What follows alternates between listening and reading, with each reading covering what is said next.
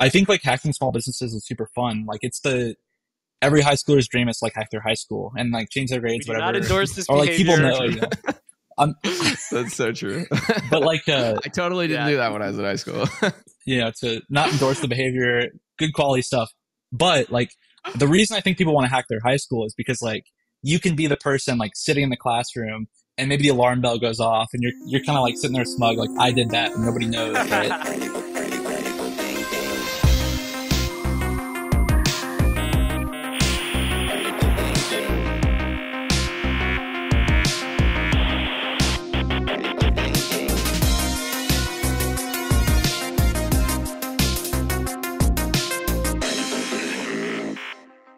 Hey everyone, we've all heard of Project Discovery, right? The authors of Nuclei, HTTPX, and countless other essential security tools. What you may not have heard of, however, is their conference, Hardly Strictly Security Conference. This conference is happening April 25th from 8 a.m. onward virtually, and it's featuring the topic of everything open source security tooling. They'll have speakers from top companies like Vercel, Datadog, HashiCorp, and Fastly, and it's oriented towards anybody who cares about open source security tooling, whether you're a bug hunter, a red teamer, security leader, whoever. Uh, there should be great content for you at this conference. So if you're interested, head over to nux.gg slash HSS24 slash HSS24, right? Uh, hardly strictly security, and then 2024 uh, to sign up and register and get in on that conference goodness. All right, with that, back to the show. Alrighty, Mr. Sam Curry, we have been prepping, and we have so many stories in the in the queue here. Welcome to the podcast, man. Hello, hello. Yeah, thank you for having me. man. This is exciting. Um, Sam, you you are just kind of like a legendary bug bounty storyteller. So I'm I'm anticipating this podcast being largely me saying, "All right, Sam, tell us about the time you got arrested at the airport, or tell us about the time you broke every car in existence," um, and then and then sort of hearing those stories and then picking apart some technical details. I think that's how we're going to go today. But let's uh, let's start with a story that is not super technical. Tell tell us about the time you got you got detained at the airport. Yeah, sure. So I was just finishing up a trip from like uh, U.S. to Japan. I was flying back from Japan into like Washington Dulles Airport. So I was like getting to the airport, like I'm exhausted, 15 hour flight. I'm going through the line, like normal check-in, you know, immigration's process. But at the very end of the line, they like pull me aside for secondary. They're like, hey, you know, we just need to talk to you, ask a couple questions. And I haven't traveled like too much internationally at that point. So I was like, you know, it's a normal thing, whatever, we'll go. And I realized I'm like the only person in the secondary inspection. And the cop who walks me over there is like super nice. It's, the process is just super, very easy. And they're being super nice to me. We're unloading all my luggage and going through everything. They're asking about my trip. I'm explaining everything about my trip. And then finally, they ask me for my device. They say like, "Hey, can we just see your phone and can you unlock it?" And you know, it's part of a normal immigration process. They asked for that. I didn't really think anything of it. So I gave the agent my unlocked phone. And then afterwards, they, I did that. They're like, "Okay, cool. Now just come over into this room. There's some people who want to talk to you." Oh and at that point, I'm like, kind of alarm bells. Yeah. And it turns out that there was a IRS CI, which is like their criminal investigation, and a Department of Homeland Security officer in the room. And they're both sitting across from me and they said, like, hey, you know, Sam, you work here. Here's this. So And I kinda was like- they they had like knew that you were flying back into the country, and they're like, all right, we're gonna snag them at the border. Yeah, it was Wow, really dude. interesting because everything was planned and like coordinated before too. Like they had gone when we arrived in Japan, everybody in our group had like these little bag notices. And I'd never seen them before. I've seen like the normal TSA inspection Mhm. things, but these were like different notices. And I was like, oh, I guess they changed the thing. But when I went back and they pulled me into that room, what I realized is that I was under suspicion for like wire fraud Oh and I was being summoned to a grand jury in New York. Yeah. So I immediately asked them, I said like, Hey, like, can I have my device back? Because I didn't realize this was like a, you know, targeted Yeah. thing. And they say like, no, we're actually allowed to keep that because it's a like normal immigrations process. So at that point, like I just have to sit there. heck. It's super tricky too because even if you're like the most clear conscious person in the world or clear conscience, Yeah. sorry, your friend could have said something that's like, indi- Yeah. you know, incriminating. What they'll do is like parallel investigations. So like, even though it was just me under suspicion and it was like a weird narrative, um, and I felt fine about it, it's still like a tricky thing where it's like something on your phone is incriminating. what did you right? do? What, what, why, why, why were they pulling you over at the border? Yeah. So what turned out happening um, immediately after that, they let me know, have my device back and stuff, and they let me through. I contacted my work, and my work lawyers got involved. Um, the company I work for is like a Yuga Labs, which is like a cryptocurrency company. And what ended up happening is through my security work at Yuga Labs, where we were investigating like a phishing Mhm. website, I had found a scammer's private key leaked in a JavaScript file. And I'd taken that scammer's private key and I'd plugged it into my MetaMask to see like, are there any recoverable funds? And by doing that, they thought that I was the, Oh the scammer. no! Oh no! Yeah. It was really tricky too because it allowed them to do a full subpoena of my network. So for instance, they had, you know, my ISP logs, like in a Are paper thing. me? Oh my yeah, gosh! they they read my name like or my, they read my mom's name because my internet was like still in her name. So the whole thing was like very yeah, you you feel like you're, you know, you've like killed somebody or something, but it, it really like shows you how the sausage is made too because now you you like you have some insight into what lengths they can go to and what information they can get about you just like without you even knowing right like you the first that you're hearing of it they're sitting down with like a stack of paper like hey here's everything you've been doing for the last few months and you're like oh cool Yeah. Hmm. what have i been doing for the last couple months yeah Well, exactly. Yeah, it's very. It it feels. It's one of those things you read about. Like I've always had the stance that like I'll never be important enough for them Yeah. to like look at my thing, but then you realize it could happen to anybody. Wow, dude, so that's crazy. And just to think that like how much of the coordinated effort had to happen too, because they're like, you know, they were definitely contacting or contacting uh, TSA and saying like, okay, here's this guy's picture. He's coming in on this flight.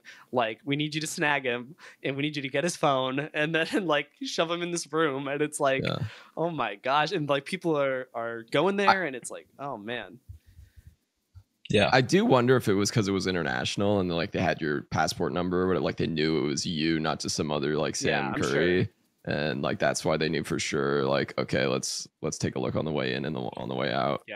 Oh yeah, hundred percent. So, I guess this this is a good transition into a different topic, which is a topic that you and I have debated many many times. Uh, it which is Sam, you do some. You know, I, for those of you that are listening on the actual audio medium of this podcast, I'm shaking my hand in like kind of like a eh, iffy sort of way. You do some some borderline things, you know, um, and you don't really do it for the bounties um and, and this is a bug bounty podcast so we normally talk about bug bounty but i'm kind of wondering what your motivation is behind all this and why you're doing that Yeah, sure. And for for those of you who are listening, who Justin just made it seem like I'm you know killed somebody or something. no Uh, to clarify a little bit, no, no, Yeah. the uh, the, the hacking, the uh, sort of, I think what Justin's talking about is like uh, a lot of the hacking I do is like not necessarily in bounty Mhm. programs, and it's not necessarily scoped in like a specific like targeted way where it's like you know they're inviting you to come look at their stuff, right? I like a lot of the hacking I do, and and the, when I originally got into like web security and hacking, it was a lot of like really like fun kind of curiosity, right? Um, so a lot of the research we've been doing, like recently, um, to, to, to kind of give context to that topic, when I started Bug Bounty like eight years ago, right, I was like fresh out of high school and I really wanted to make as much money as I could, right? You know, I grew up like super, like I'm really hungry for, for money, right? So I'm like, hell yeah, like $500 bounty there, $1,000 bounty there. And it's just like feeding, like it's going perfect, right? And I did that for a while and I got a job in security and I'm like, you know, the amounts keep getting higher and like it doesn't like hit the same Mm. way. And then eventually I kind of realized like, you know, like I was, com- I'm not a really huge spender. I'm very comfortable. Like I think in terms of like my, I, I think like, I guess I'm trying to find a I good know way to that this describe it, is- but, but I think what yeah, I'm trying I, to I say. know that this is Oh, more of a you know this is this strays a little bit more into life philosophy as well because it's like Sure. you know it's about this interest that you have now and less about this financial motivation that you had in the beginning right Exactly. Yeah. Not to, to kind of wrap it down a little bit. The, the hacking we do that we've done recently is like, you have a smaller group of people that I've been working with, like Shubham Shah, like Ian Carroll. And I think like as a group, we kind of have like this love for life for like Mm. hacking stuff. Like it's, it's this deep, like childlike curiosity of like seeing something and like, again, like the example of like a subway card. You're like, I don't want to pay for the subway. Can I get a million dollar Oh subway card to like go? you know, things like that. And like we do it in good faith. Yeah. And that, that's when people say like I'm, you know, doing a gray Mhm. line or a gray area where maybe they're not explicitly inviting us to hack them, but you know, I report them through a security program or security team.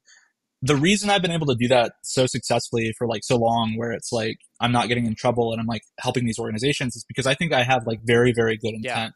Like never once have I wanted to exploit something like maliciously. It's always been kind of like found it, it's hilarious, we had a really good time, it's a good story, but it's fixed now, and that's good, Mm-hmm. Yeah. right? So to talk about like that hacking, like I've kind of fallen. That's that's how I originally got in security, and that's kind of how I like keep my flame lit, Yeah. right? Is like It's that. sort of interest based hacking rather than like, you know, money oriented or or even, you know, and, and and I guess some of this has to do with you know these are good stories as well, and it, and it's it's fun story to tell and to share that that light that uh, that invigoration that passion for hacking with others. Um, and and so the I guess the reason you're doing this is just because of that that curiosity. Is that accurate? Yeah, I think absolutely. I mean, like nowadays, it's kind of like uh, it blends a little bit more into the normal job Mm. space where security is like a normal job that people do, and like it's a normal, easy thing that you can kind of get into as a career. But like before, even like you know seven or eight years ago, it was a lot blurrier. Where like hackers, like the whole thing, like every hacker I knew was very like culture oriented, where they just have like this love for hacking, love for security. They have this ecosystem, and it's like this you know, like the the introduction song to this podcast, like YT Yeah. Cracker. Like as a kid, like I grew up listening to YT. I'm 13 years old, 14 years old, and I'm like, you know, he's like deep in the Matrix. It's crazy. Like that world is just like exciting, right? And I like, as I grew up, that's like my, I still have that world, right? Like it's three in the morning. I'm like deep in something. Like there's like that really, really deep passion where it's like you want to do it because you love it, Wow. right? That's that's cool, Yeah. Sam. I have to say, you know, a lot of a lot of people in this in, industry are green hats. You know, to reference back to YT, um, and and looking for the money in it. Uh, and and I mean, I'll I'll say, you know, I do bug bounty full time, and I'm not financially independent yet. So, uh, I, I definitely that is definitely a motivation for me. But it's definitely cool to see someone a little bit more motivated by the passion for the the and and letting that be the leading factor right like i i think for me it's more of like i look at a target that i that i that has good bounties on it and then you know my passion for hacking comes out against that target because I, I love the day to day and I love getting in the weeds with it and I love reading the JavaScript files and figuring out how stuff's working. But it's still pointed at the top level by that um, you know financial incentive. Um, and then also for me by the safe harbor incentive as well which doesn't seem to be as big of a, a thing for you. Like and, and, we've we've debated this you know um, to the end of the that we can debate this in, in our little group chats or whatever but um, talk to me a little bit about why you feel why you feel safe hacking all of these targets. And and yeah let's start there. Yeah. Sure. I think it's maybe the safety is kind of a. I, I think there's a lack. There's a small lack of safety where, as I get older and I think I mature and I kind of settle into like this lifestyle of like less Mhm. risk, that I'm kind of like slowly like concising Yeah. down. But like for me, I, I see like hacking. You know, if there's a company that doesn't have a security program, for instance, we looked at casinos recently. I'll, I'll give you an example where it was a really bad interaction. So we were investigating like online gambling and online casinos. We found this one online casino, and there was a specific game in the casino where you're able to replay the request and generate like an unlimited balance. and we were like, "This is hilarious." We didn't try to withdraw it or anything. We just reported it immediately. We're like, "Hey guys, like we found this how many bug." times did you do it sam and what? Well, I think I ended up with a balance of I ended up with a balance of three million dollars in my account. Right, a little excessive. However, what ended up happening that I didn't realize is that the game providers on the online casinos, like let's say you're a slot Mm. company and you make the slot, they're like a sub company that sells the slot machine to the gambling oh website. interesting okay And what ended up happening? Yeah, they the the gambling website saw the slot machine had generated three million dollars, and they just cut them off completely. And they said, "We don't want to do business with you anymore because of this vulnerability." So I got on the phone with this guy in the UK who runs the slot company, and I'm like, "Hey, I just want to report this vulnerability." And he says, "So you're the guy who's committing fraud on on our slot Uh-oh. machine?" And I'm like, "So yeah." At that point, it's like you know, everything in your head's like, "This wasn't my intent." Blah blah Right. blah. but they could still sue you financially. And it's like a tricky situation that you have to navigate, right? And of course, the complexities of like UK law versus US and like whether or not you have permission, like it's very complicated, but like I think the leading thing is like good Hmm. intent, but it can, in this case, like stray because it does. So you And can't leave us there, like, Sam. What, what happened, dude? How did you weasel your way out of this one? Yeah, so I weaseled my, my way out by I we had like a continued effort to like report we reported the bug, we worked on the fix. I communicated with the casino, I said, Mm. Hey, I'm a researcher who found this. We've talked to the company and we kind of meshed it together and things were like good. Mm. And I'm sure But, you uh, can. I'm it sure was- you can convey to that company as well. Like, hey, you know, the companies that are having their their products assessed are the ones you want to work with, not the ones that you don't want to work with, right? Because the ones that don't have their product assessed, the bugs are just sitting there waiting for you know a malicious hacker to hack them. I, yeah, exactly right. Like, would you rather have like one example where someone, you know, it's three million dollars, but it's never exploited, or like thousands of users that are just adding in a hundred dollars, two hundred dollars, and then slowly withdrawing money? It's a really interesting conversation. Um, I, I did a training one time. I was, I worked for a consultancy, and during the training, at the end of the training, we, my people who I was working with, the web application security training we did, he said, let's just like go to this uh, website here to kind of assess the, you know, like look at the security of it. And it wasn't like a full like test where he was like sending malicious traffic, but someone in the audience was like, hey, you aren't really allowed to test uh, random websites, right? And then he responds, well, it's like, it's like it's a personal risk thing where it's like if you're not doing enough damage or not causing enough noise, like are you going to get sued? Probably not, but it's kind of like your risk profile, right? Yeah. Um, I mean, is there, uh, especially for you now, established, at, you know, very publicly as a, you know, white hat ethical security researcher? I bet that risk is is probably minimized even more for you than somebody who doesn't have a track record of ethical security research because of the caveats in the you know Computer Fraud and Abuse Act specifically for good faith security research. Yeah, it, it, remind, it reminds me of a skit actually. There's a TV show called Nathan for You, and in the show he says, uh, he's like, "Hey, I want to do this like big public thing. Great that- show. It's a great show. It's fantastic."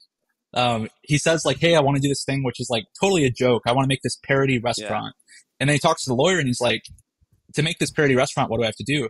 And the lawyer says, "You need to establish yourself as like a, a comedian or a guy who does like pranks." So he quickly goes and does like a performance art thing and tries to build a name for himself, right? But I think as a security researcher, like you can Google Mhm. Sam Curry and it comes up with like the past work. It's a legitimate Mhm. person, right? Versus a lot of people I see who try to reach out over email, they'll use their alias and it's like hacker Yeah. four four seven, and they're like, I'm not going to give you my real name, but here's. And it's like I, I get it, Yeah. anon- you know, being anonymous, whatever, it's great, but like you do come off a little more malicious like that, Absolutely. right? Yeah, I think there's definitely something to be said for that established track record. Yeah. So so when you're picking targets, um, I know like a lot of it is sort of just like the interest, though, like the love for hacking. Um, do you ever sort of like choose not to hack things or to go after certain things? Like I think there's lots of different levels that you can hack stuff at, right? So like you can go like to the smallest level where it's like an individual like using a specific instance of a product, or you can like go to like the product itself or like the parent company who owns that product, or like you know you can sort of step up the chain to like larger and larger scopes. Um, where do you like to draw that line? Because I know a lot of people like we have mutual friends who really love hacking small local businesses, and it's just like they feel you know they get a really large amount of impact out of that. They feel you know like that they're creating a lot of good in their community. Like they have these really great relationships with those small businesses and stuff. Um, but I would say you probably aren't hacking mostly small businesses. You're you're hacking mostly large businesses. So what where what sort of draws you in that direction versus the like the small business route? Yeah, so I think like picking targets is really fun because like mostly what I what I've been looking for recently is like choke points where it's like for instance like a single point of failure that has like this cascading effect where it's just like millions of people, right? I think like hacking small businesses is super fun. Like it's the every high schooler's dream is like hack their high school and like change their We grades do whatever. not endorse this or like people behavior. know, you know. Um, That's so true. but like uh I totally didn't Yeah. do that when I was in high school. you know, to not endorse the behavior, good quality stuff. But like the reason I think people want to hack their high school is because like you can be the person like sitting in the classroom and maybe the alarm bell goes off and you're you're kind of like sitting there smug like I did that and nobody knows, right? so there's like this there's this like kind of you can kind of do that with like small businesses or bigger things. Like I tend to focus on like big points of failure, like interesting things to me. So for instance, the research we did with like uh, Neiko uh, Specters with like car security stuff, where it's like something I didn't know up until like a few months ago is that you can scan a license plate and it'll give you the VIN number of the car, right? And basically, what that means is for every car in the United States, wait, wait, you go from. To, I'm gonna, I'm gonna sorry, you sorry, there. How did to, you? How did you? How? Oh yeah, so it's public. You can pay for an API that will basically no do this really? because the the yeah the DMV will sell these records to these like small companies or these like contractors that provide them to like maybe you're a traffic endorsement camera company okay. or something. Yeah, so for about like you know one and a half cents per API call, you can resolve someone's license plate to the VIN number, right? So if you think about it, like if if I want to have fun, like hacking stuff, and it's like an interesting thing, and I'm not. These companies do have safe harbors, a lot of them. It's like hilarious to me, like being in line at Starbucks and like the idea, just the idea of it, not actually doing it, but scanning someone's license plate and making their car honk. Like it's just hilarious because it's like really fun, Dude, right?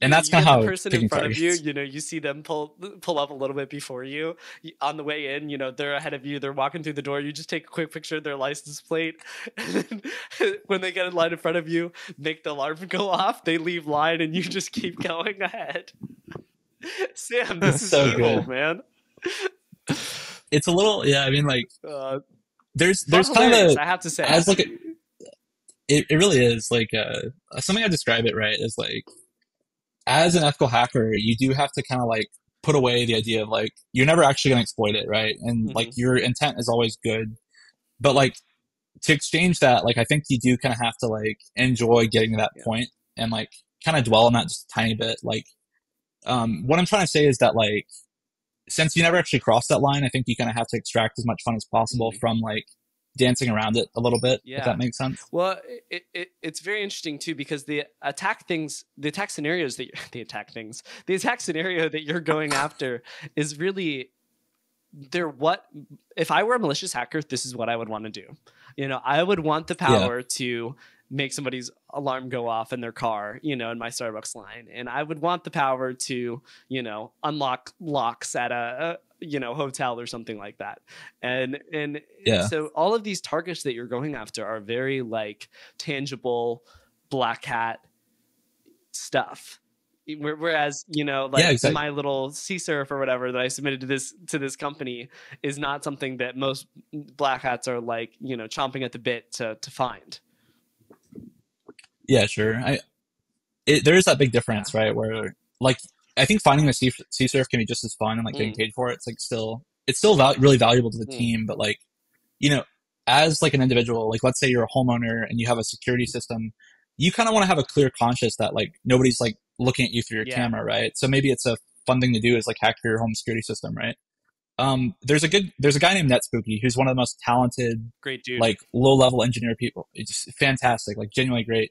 But I was having a conversation one day and he told me something that I didn't, I'd never really thought about it. He's like, he's like, you know, you can like change your world. Like if you see something in the world that like you don't like, or it's like you have impact on the world and like you can affect things. Like it's a really low level point that's very cliche, but like very deep, you know, but he, he's like, you know, like if you don't like something in the world, you can change it. So like the idea of like, you know, I, I'm curious about the security of iPhones because I don't want to get like my iPhone hacked or whatever. So it's like research iPhone mm. security, and then maybe you find something. But clearly, so. this isn't coming from a place of privacy concerns for you because you know you're a pretty public figure.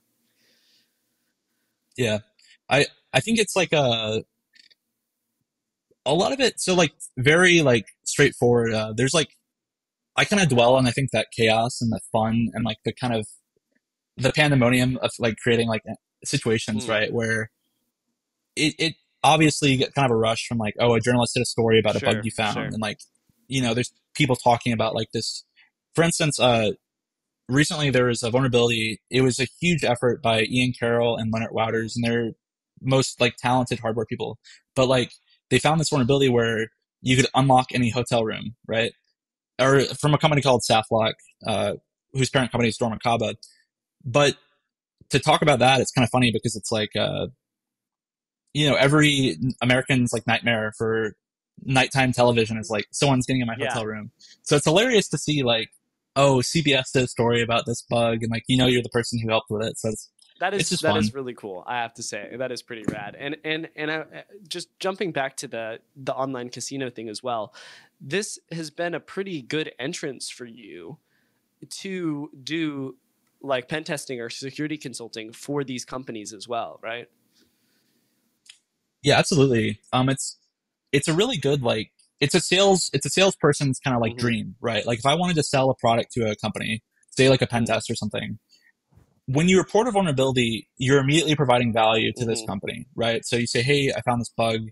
Here, here's what it is. Here's how you can fix it," and they say, "Thanks. You know, great to meet Mhm. you. You provided value, right?" So you have this good relationship with this random company. It, it's a really good like pipeline if you did want to sell pen test, right? Which is like kind of an interesting thing because it, it there's a topic I've been really like always curious about where it's like um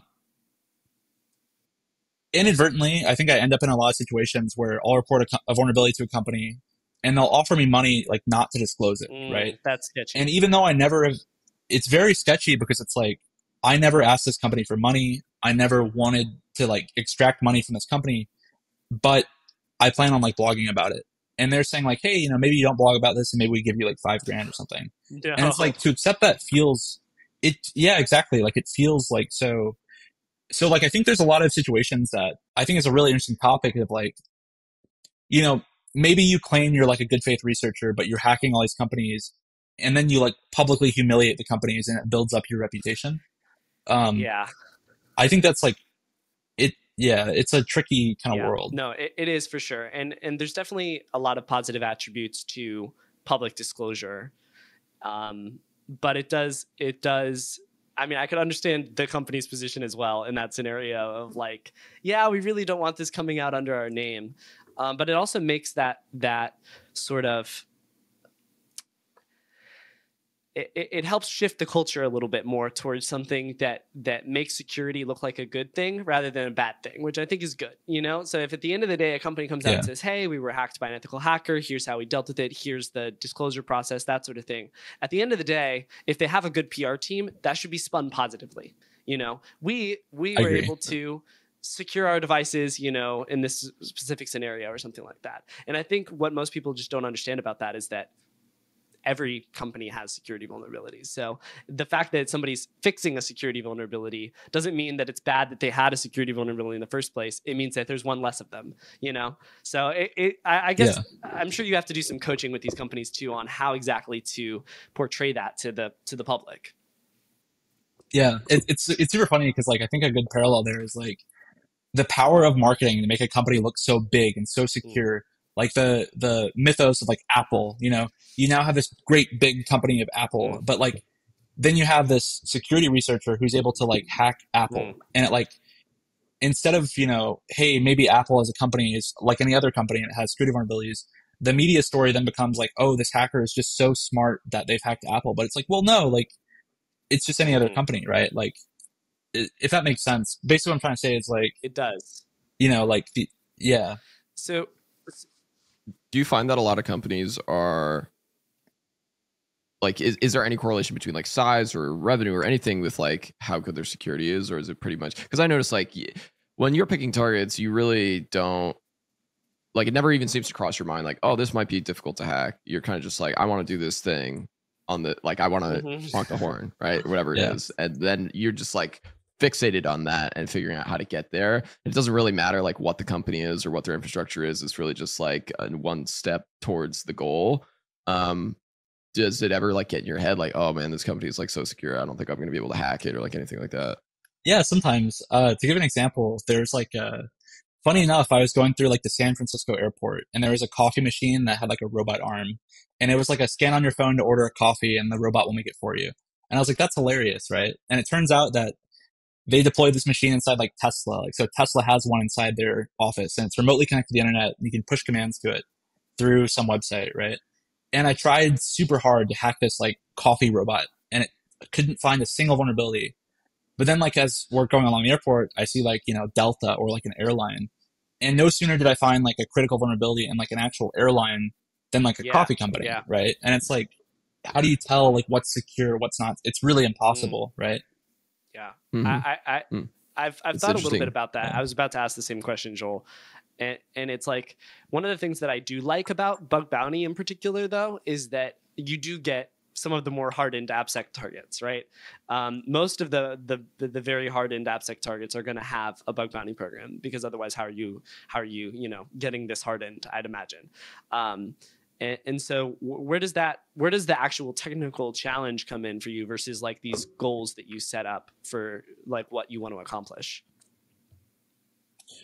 Yeah, so I think that the technical challenge comes in when like the technical challenge for me and like where I really delve into the world of like the technical challenge is like if I have a goal and I can't quite seem to get to the goal and I have to accomplish some hurdle to get there. Um, sometimes it's like I'll discover some new attack method or I'll find like some interesting research because I want some, you know, end goal. Um, but other times it's like very simple where there's like no research involved. Everything is very simple. So for instance, right, like one of the car vulnerabilities we found was like a company called Spireon and there's millions of connected devices that are behind this admin panel. And to get access to every single one of the devices, it was literally just SQL injection, like admin quote space pound dash dash no. or whatever.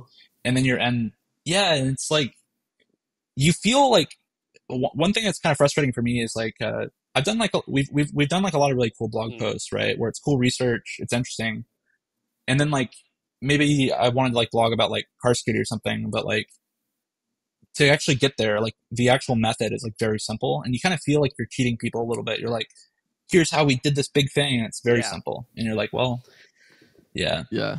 And like you do wish it's I, I know exactly what you mean because you do wish it's like more of a challenge. Like some of these things are like, oh, this is gonna be so hard. Like I'm gonna have to go through all these layers of security and all these things, and it's literally just like one unauthenticated endpoint. And you're like, oh, that was really i mean like yeah that's bad but like that's yeah. so lame like yeah. I, just, I wish it was more more fun than that to have to get to here exactly yeah there's like no story to it it just feels kind of like you're cheaping it out a little bit but yeah that's kind of thriving in that technicality bit but that's the um, scary bit though too is like you have these goals very realistic goals very black hatty goals right that you, that you would like that any black hat would like to have. And then they're like textbook SQL injection, and it's like, oh no. so, uh, you know, on one hand, it makes for less of, an, of a technically interesting story for us that are, you know, often in the weeds and hacking stuff that's really hardened, and go in there and figure out, okay, you know, it's just like a textbook SQL injection, but um, from the story perspective, it actually even makes it a little scarier because it's like, oh, this was a textbook SQL injection. Somebody, you know, two months into their hacking journey could have found this, and it it does make you understand, like, because we we know the vast amount of people that have. Th- there's a very big difference between the really really pro security researchers and the amount of people that get far enough to do a textbook SQL injection, right? Like there, there's a way bigger group yeah. of people that can do that. So th- there's by extension, there's a way bigger group of people that could do this from a black hat perspective. Um, so it's definitely it's definitely a little bit a little bit scary to see that sort of thing. Um, I, I, I want to take uh, take a turn here and, and talk about this don't force yourself to become a bug bounty hunter blog that you put out i don't even know what when, this is probably like what five years ago maybe um, uh, but this is a very interesting blog. Yeah, four years ago. Very interesting blog because essentially this is something that you and I kind of discuss on a regular basis, uh, just because our personality types are very different and how we approach things. And um, essentially, what you what you talked about in this blog was this whole concept of like trying to foster the passion for bug bounty um, versus forcing yourself to be able to do bug bounty. Um, and I think you can kind of see this come through in your in your hacking as well because you're you're spending your time focusing and hacking on things that you're passionate about. And when you became less passionate about making money, uh, y- you know your your focus shift from bug bounty to this this more I don't know, mercenary hacking or whatever you want to call this thing, right? Um, and, and, so, I, I, like, what, what what advice do you have for people that are getting into bug bounty and are uh, putting themselves through the challenge of listening to this uh, podcast um, in in fostering that passion and using that as a motivator for their bug bounty experience? Yeah, so to talk about that blog a little bit and kind of just like the advice is like when I wrote that blog, it was at a time where like a lot of people were reaching out to me like, Hey, I really want to get in security. Can you give me tips? Can you mentor me? Can you give me these examples? Like, how do I get started? What do I read? What do I do? And like, you have like kind of this textbook person who they're sitting at their desk. It's five o'clock. They just got home from work or school or whatever. And they're really stressed out because they want to, you know, they see these people like finding bugs and like, how do I get there? And they're trying to read through and like flip through these books and maybe it's not working super well where they feel like you've, you're kind of in this mindset where you feel like you've got this end goal and you have to like really grind to get there. Maybe some like, there's something in your ethos where it's like, I need to be like military about my study and like my work routine and like commit to get there. But when I write about like, hey, it's like don't force yourself to be a bug bounty hunter, it's kind of a a preach to people I think like with the same mentality as me. There are people, um, for instance, Peter Pete Yaworski, who I worked at Shopify. I don't know if he's still there, but when he got into bug bounty, he was someone who I think was able to do it really, really like military kind of style where he got himself started really quickly, did courses, did trainings, and it worked super well. Like Pete became one of the smartest mm-hmm. people like in bug bounty and like in security that I knew. And he did it through like this kind of military training where it was just like a lot of like intensity. Um, but me on the other hand, it was never like that, right? So when people came to me and were like, how do I like grind like you grinded, you know, like you have this work ethic. It's like, well, no, I don't. Like what, what I did to get like bug bounty is like, I kind of just like instead of like trying to pick the books to read, you know, I was playing video games and I like wanted to get rich in the video game. And like that's, you know, like fostering that like flame for me was like so much better, right? Um, and it depends like per personality. Um, I'm not no I'm not comparing anybody in Bug Bounty whatsoever to like Magnus Carlsen, but there's a really funny thing in the chess documentary about like Mag- the world's greatest chess player, like total genius, like fantastic guy. But when he got into chess, like his parents realized he loved chess and they immediately got him this coach. And the coach guy, the first one, was like, you need to read these books and do this. And it didn't work out. Like he immediately became, you know, but the second coach he got, he looks at Magnus Carlsen he's like, let's just step away from it and like let him play chess and like have a good time with it. So like he's reading like, you know, like uh, Donald Duck novels and playing chess at the same time. And it's like he he becomes like the greatest like chess player of all time, right? where someone else like um, there are other there are other chess players uh, who are like world champions here who have like different regiments, right? Maybe they were born into you know very routine oriented like normal stuff. Um, but I guess what I was trying to get from the blog post is basically like if you feel like it's not working well and you feel like there's all this pressure I've never once found the bug like in that pressure. I've always like when I find good bugs, it's like relaxed and good. Yeah. You know? So maybe don't force wow. yourself. Yeah, so. no, that's that's that's. Yeah, I'm sorry. Go ahead, Joel. Yeah. Well, I was just gonna say, like, I've definitely felt a lot of this as I progressed throughout my career, both through bug bounty and like professionally, especially with like the lack. As I've had both, there's a lack of financial dependence for me for bug bounty, and that's also changed my mindset on it significantly. Where when I was first starting bug bounty, I was like, you know a lot of other people who are just starting bug bounty they don't have a lot of money. They're, it's like a really good way to earn money and like put your skills to use and it's like engaging. But then it shifts just like any other job where it becomes work and it becomes like a thing that you feel like you start to have to do.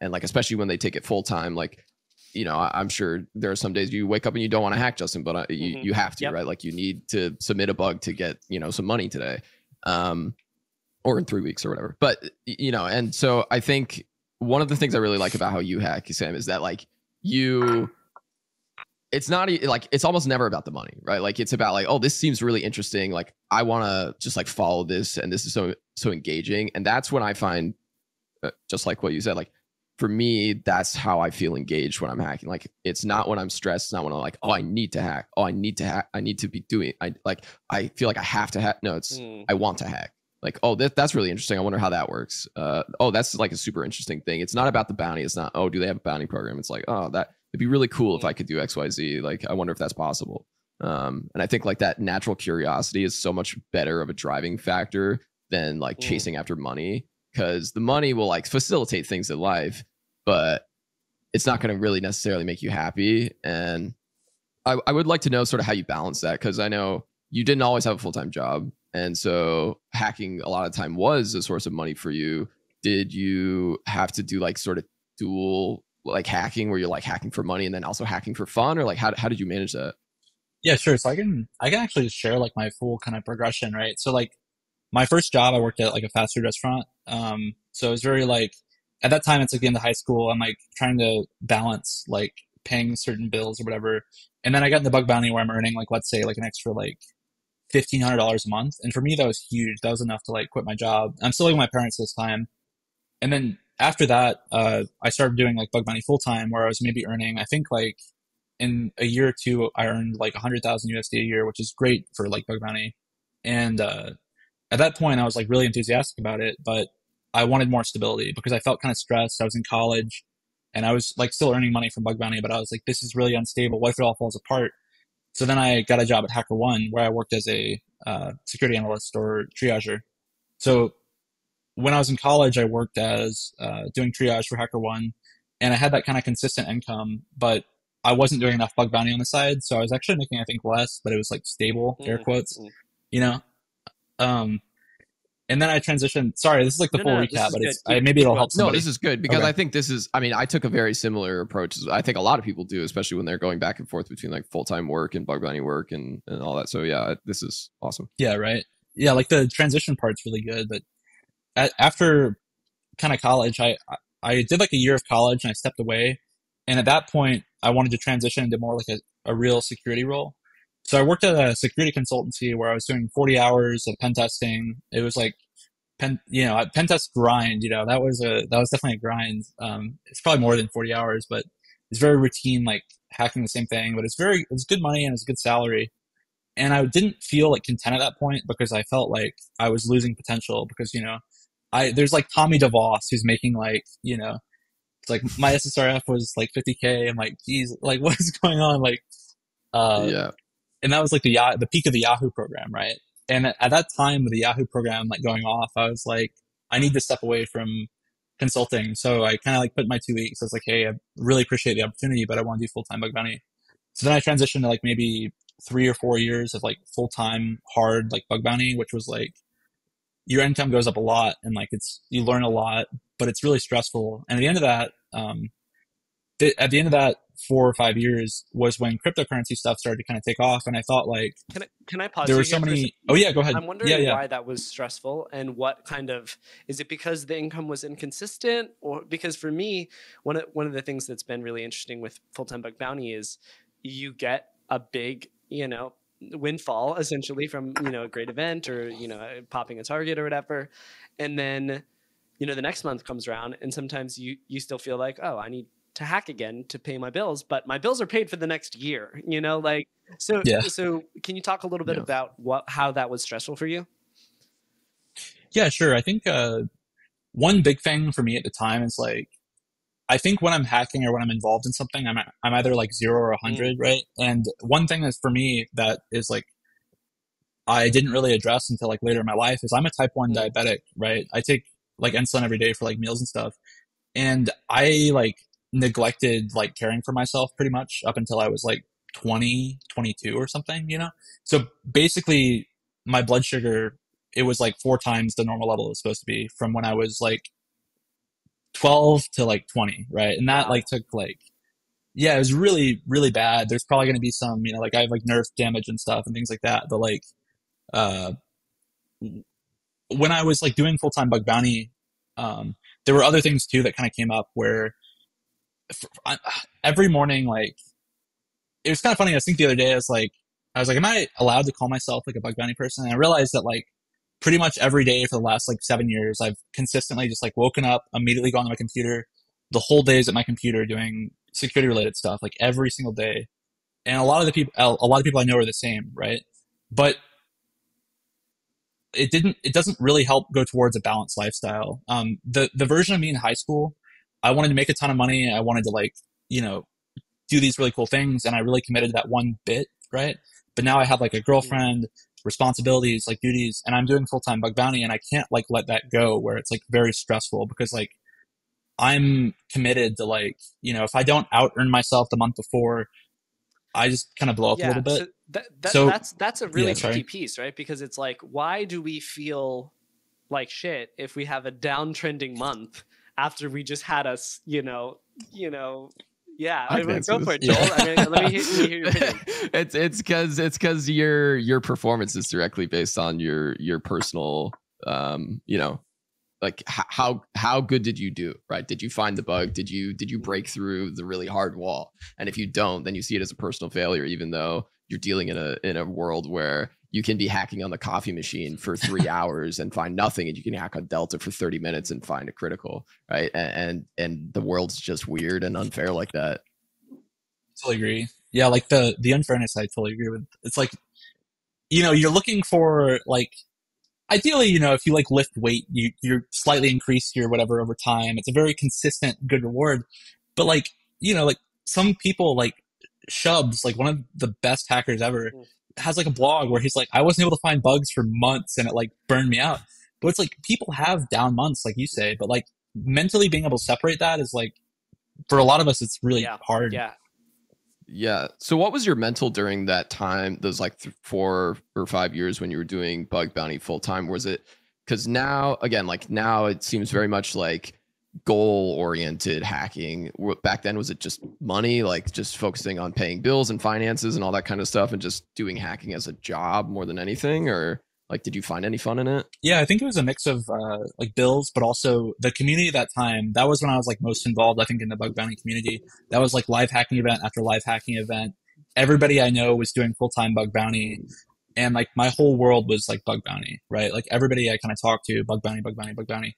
Where now it's like you know I have friends in security who are doing consulting or like EDR or like these things, and there's all these different worlds, right? But at that time, the only thing I cared about is like, am I going to get MVH? Like, I got to go for these awards. You know what I I definitely feel that. Yeah, Gotcha. no, that gotcha. Yeah.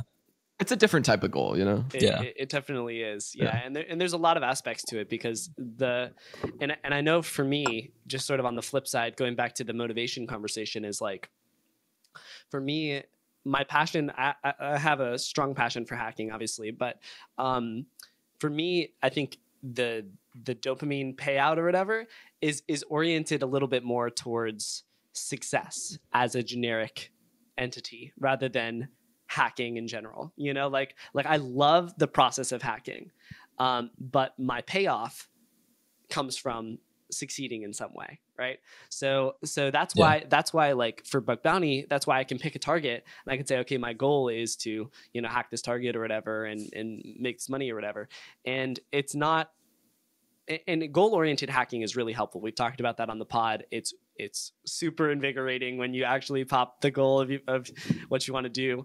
Um, but i think for me it's more it's more of a of a success oriented thing and that's why I, I have a little bit more i think sustainability than most people in bug bounty um, because it's like okay uh, let me just set set these these arbitrary little little goalposts right? Okay i want to get this this extra gadget or and and I, we've talked about this as well. It's like you you gotta recognize little pieces of success along the way with hacking because sometimes you are going to slam your head against the wall and you're not going to get anywhere. But if you if you recognize oh hey there's a there's a gadget that allows me to um, you know do a path traversal in an OAuth flow. Even though i don't know how to leak the code i can lend it on any page in the domain right? Um, that gadget alone should be a little bit of a payoff for you, uh, you know, from a motivation perspective. Um, and keeping those up, I think really that, that's kind of where where my motivation comes from in these sort of scenarios. Um, which which is which is is, is pretty different. And and the long time bug bounty flow is is is really tricky to stay healthy throughout that whole thing. And you mentioned, um, I think in that blog post that we were talking about, the don't force yourself to be a bug bounty hunter, that you have you know dealt with burnout along the way. Um, and I'm wondering, you know, how how you deal with that and how because four years as, as a full time bug bounty hunter is a, a long stint. So how did how did you get over those and how did you return to hacking when you were kind of burnt? Yeah. and also maybe that maybe that'll cycle back in because I know we kind of paused the, you know your your story as you were going through sort of how you got to Yeah. where you you were. So um, I'm also Yeah. curious how that played in. Oh yeah, absolutely. I think like four years is a long stint for like anything. I think too, and like one big part of that is like you're learning like the whole rest of your life. Like you know, like I'm talking to people who are having kids or getting married. And there's like so much like you're trying to. So maybe like you've got your. I mean, it's just so much to try to process, right? But to go to the bug bounty part where it's like burnout can be really tough. Where I mean, some of seriously like maybe I think a year and a half ago, I probably had like the worst year of my life because I was removed from, I, I kind of removed myself from bug bounty. I'll talk more about that. And I didn't really have any metric to kind of feel successful or like anything to tie my success to or happiness to. And I just felt very stagnant. And the reason for Bing was, uh, to, to go all the way back, the, the four years of bug bounty, it had its highs and lows, like it's roller coaster, like everything else, you know. Uh, one of the events, like I ended up like working with like dawgyg. We got like first and second place. Is really I was really happy with. Um, and that's like a really high moment for me is like being able to get the awards and like going out on stage and it's like you've done a really good job. You feel great. But then the other months where it's like you don't find anything, it's you know. But like dealing with that is super tricky. Um, and it's like a life thing, I think, where you're trying to learn how to deal with that. Um, but what ended up helping me was transitioning to um, starting a consultancy, which is what kind of I did after that, where instead of doing bug bounty, I wanted to get kind of more involved in the pen test world. And the, I kind of started the story a little bit, but at that time we were auditing a lot of like cryptocurrency stuff because there's all these crypto bug bounty programs and they, we realized that they didn't really have a lot of web security. So we started doing web, web consulting for like, you know, these big exchanges like Bitfinex or Coinbase or like, uh, OpenSea, things like that. Right. And we me, Brett Buerhaus, Maik Robert, uh, we had this small team of people who built this company out over a little bit over a year, right? And it was really, really fun where you started this big process where you've got your like statement of work, these documents, everything's signed up, and you're getting clients and stuff, and you have that growth, right? So it was a year of building something great and like really happy about it. But what ended up happening was like we, one of our com- our customers that we work really closely with, they actually acquired the company, and we went over to work as employees. And at that point in time, like it was really great and we are doing a lot of work, but it slowly kind of less work and less work. And uh, I wasn't really, I was working at a private company now and there wasn't a lot of security people. And the work we were doing, like, wasn't, I didn't really feel like I was like maybe doing the same level of work I was doing before. And it kind of turned into just not really having any positive feedback, right? And that year of my life, I think, was like really not knowing how to like manage that was really really hard. Um but yeah. Yeah. Yeah i mean it sounds like you were kind of in a bit of a flux where it's like you know you just come off this sort of high intensity push for the last couple years of just like nonstop grind and then you suddenly fell into this very stable situation um but almost like too stable where it's like okay, there's no like where's the excitement? Like there's nothing really like it's so day in day out just like come to work leave work come to work leave work like you know and there's it's just like not very fulfilling um and is that sort of the point where you started doing the big target hacking or like were you already kind of doing a little bit of that and you were like let's get back to that yeah so I, w- I think i was doing a little bit of that but i kind of transitioned to it a lot harder at the end of it because uh, it really does suck because bug bounty specifically too is like you work, you put in the hours, you get a bounty. Like it's a very, the cycle is there, right? But with a salary, it's just so disconnected of like, do you do extra work this month, no work this month? And it shifts a lot. Like realistically, like it's going to shift a lot, right? But you still get that consistent paycheck every month. And then your brain kind of stops. It like removes that association you had before of like time, effort, money, right? So like, so true. Yeah, it really sucks. Um, and at that point, yeah, I, I kind of was like, I want to do more of what I love that has like results and stuff, right? Like uh, working. Uh, the Shubs, I think, too, kind of felt the same way, and I had a long conversation with him about it, where he has done like so much security work and like provided like so much value and done bug bounty so much, but like he, at the end of the day, he wanted to do like high impact vulnerability research. So we kind of worked together on that, and that changed a lot, right? Yeah. So I, I will say I noticed that you do a lot of collaboration and stuff. Um, with other hackers.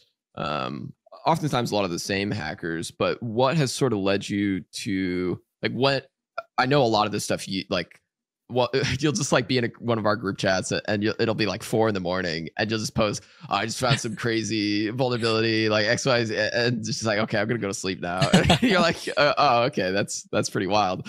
Um, but that's not all the time. Like I, I know sometimes you do sort of fall off into your little hacking cave and you, you just you're there secluded doing your own thing. But other times there's like this secret sort of ba- huge force of hackers behind a lot of the work that's being done um, of really really talented people working together to to sort of exploit large systems at, at scale um, i like to think of it sort of as putting together like an a team uh, where you're like you know all these action movies are always like you got the hacker and the and the tech guy and the driver and the That's the great. gun guy like and, and it's, it's kind of like that when when you're like building together this team but you have you know so many people. We all know so many people that are really really good at these things. How do you um you know pull your team together? How how are you deciding you know who you want to work on stuff? Um like when to reach out for help and not just do something yourself? Because it's not like there's a bounty here. It's not like you're at risk of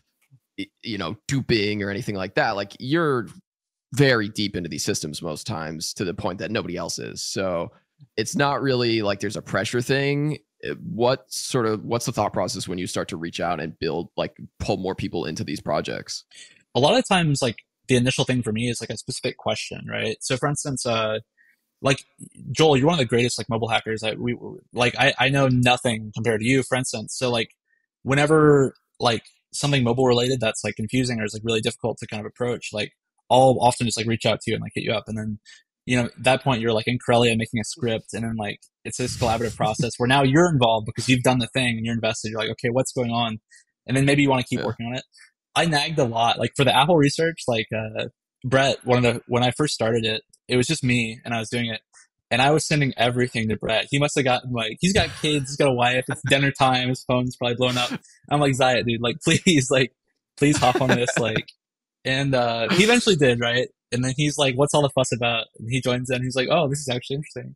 So I think like uh, I don't know. I don't have like there's no elitist like there, there's like this concept of like a hacker group or whatever where like you used to have like this hacker name and like this big uh you know be like team poison or something you've got like the eight members and it's like this kind of elite organization or something. But for bug bounty stuff it's just like hey i'm gonna spam you with stuff and if you can help if you want to and then maybe you like add one thing and add another thing and then like we build the full picture and then like people get credited and stuff right? Um yeah. so yeah.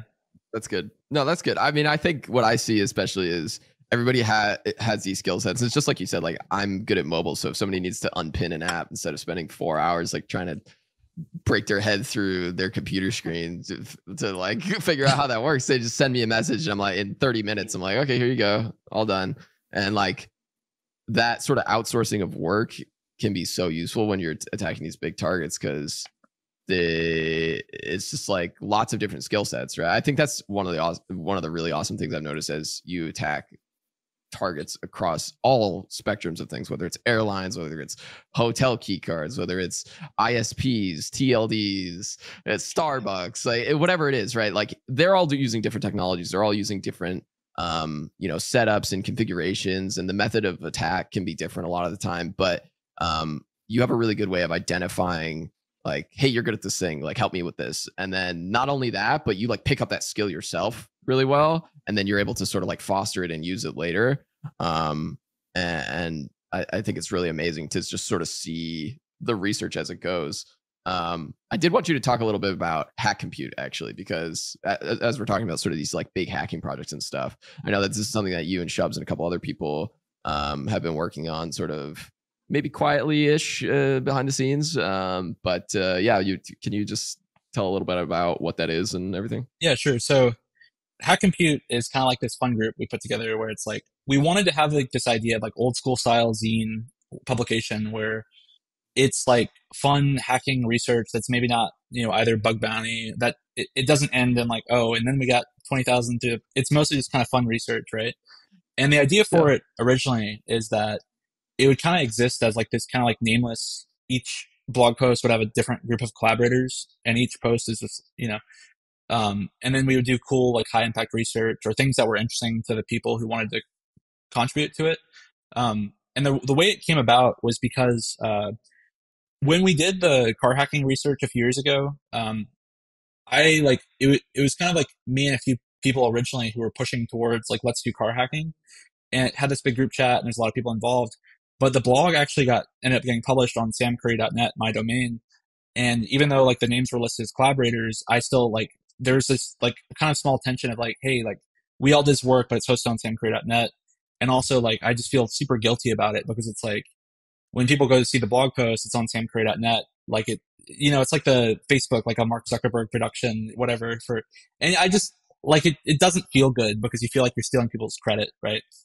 And the idea for Hack Compute is like this idea where it's like intentionally collaborative, where it's behind a name. Um, and that's kind of like the origin of it, right?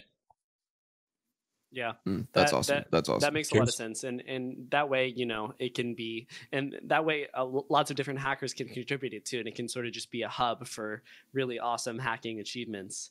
Um, definitely, definitely excited to see where that goes, and and uh, if I if I ever pop anything not bounty related, I'll I'll let you know, and we can see if we can Oh, put it up there.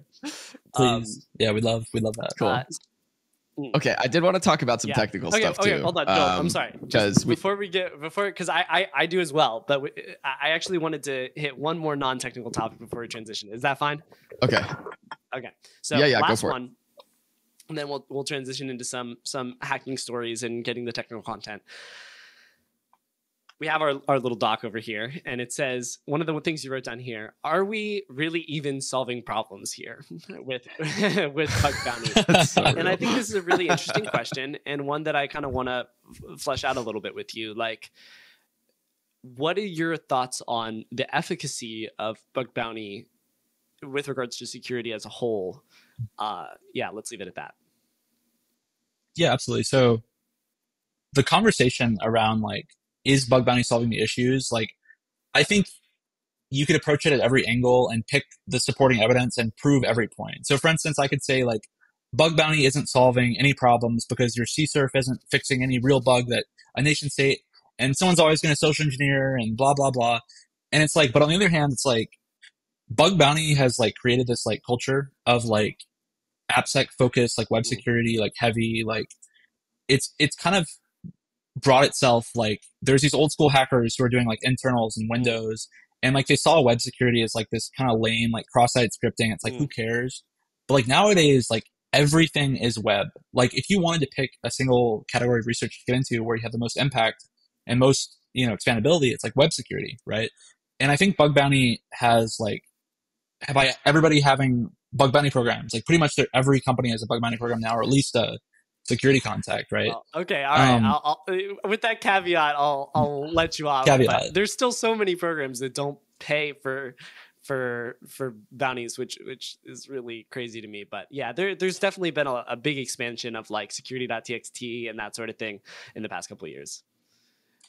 Yeah, I'll, I'll even name drop like Yeah. Cloudflare, like uh, five k max. Like you run the internet, dude. Like you've got like eighty percent of every Yeah. website. It's like please, you know, like increase your bounties because nobody's like Nobody's hacking on it for money 5K because you're with, with, with that Yeah. of a target.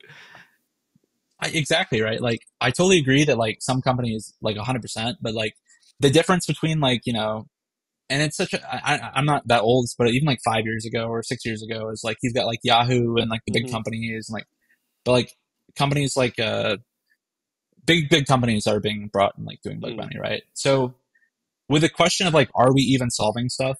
Um, I think that like AppSec and like patching out these like single issues is contributing to this big kind of security culture and knowledge base that is like really, really affecting change and like security stuff. And you're seeing a lot of pushes now from, for instance, like uh, Jack Cable was a very prolific bug bounty hunter and he got involved in like CISA and like US government stuff. And he's helping with this push towards like secure code by design, right?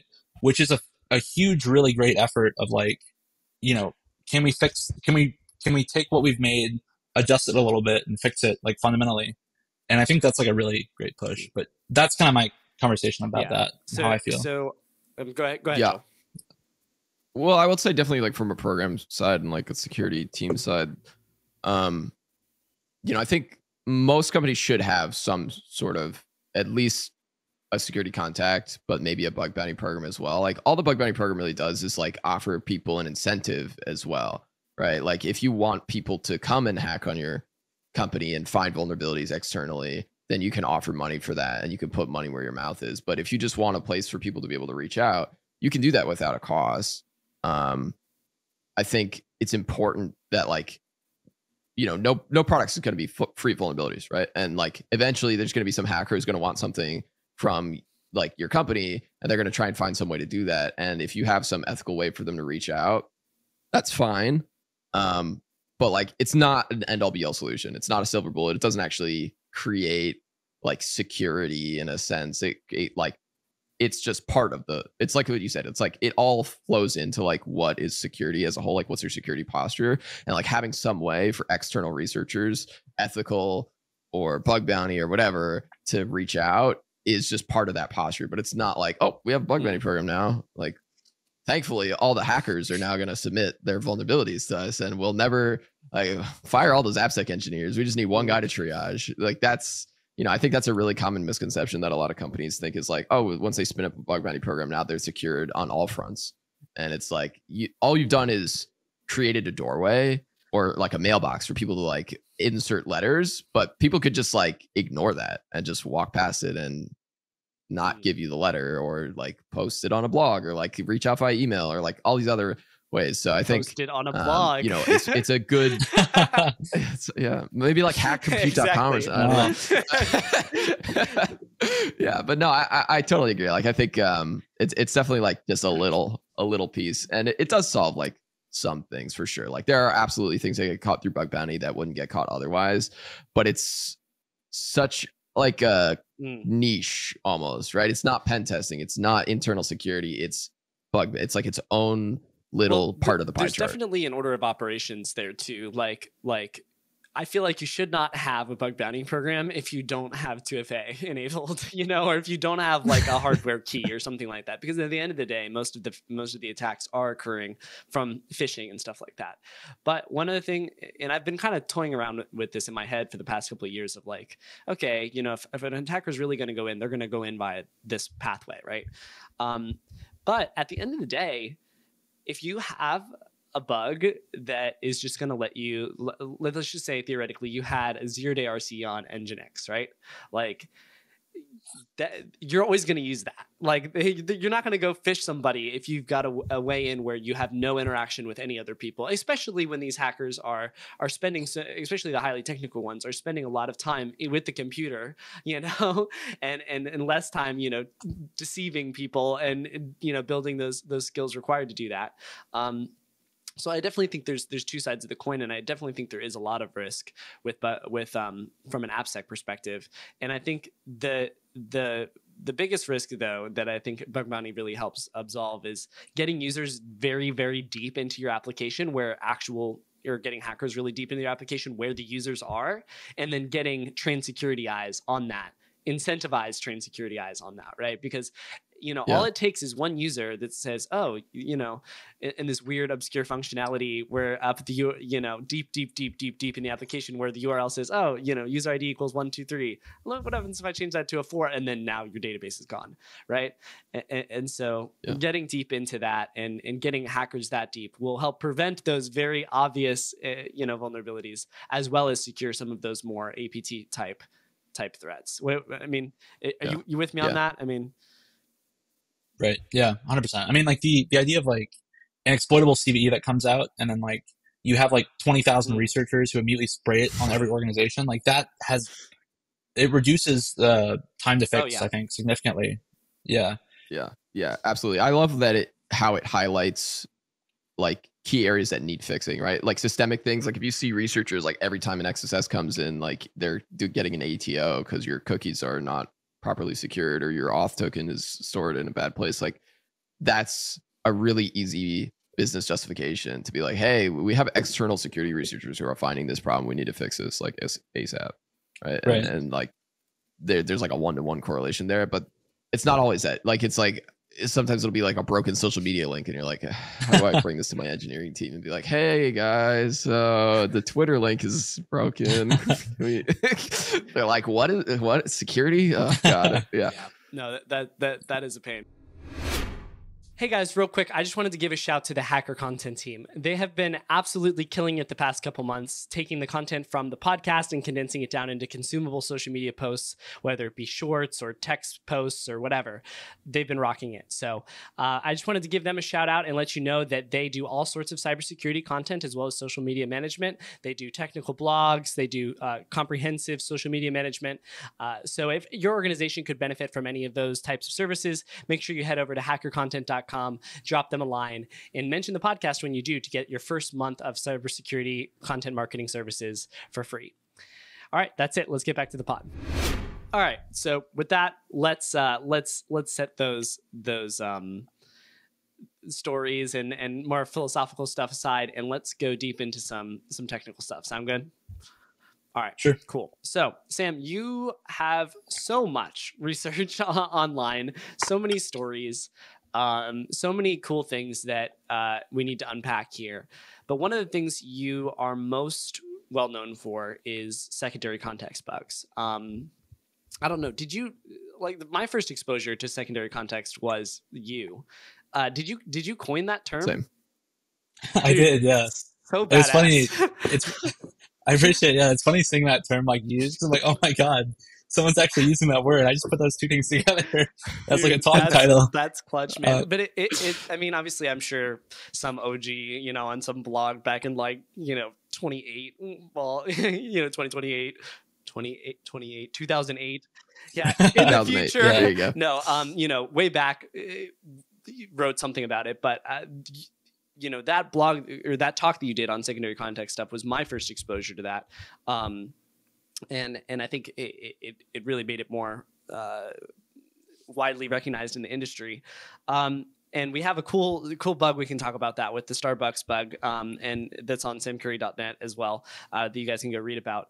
But talk to me about when you started realizing secondary context bugs were a thing, and how you started working through that whole concept. Right. Yeah. So my initial exposure to like secondary context bugs was on uh, Yahoo's Luminate, which was like Yahoo's small business platform for like deploying websites and stuff. And what I realized was that uh, I originally thought it was like path, like file path traversal, right? Because I was like able to traverse and like add directories. And I'd been spending so long on this mm. one app, and I was just like getting, so, and I eventually started testing for it. And I'm like, oh my god, there's file path traversal. And even in, it's funny too because I blogged about it, and even in the blog post, I refer to it as like I remember you know, this. Local file. I remember this. In. So this was not yeah. a file path traversal. It was not. Yeah, it was actually HTTP path traversal.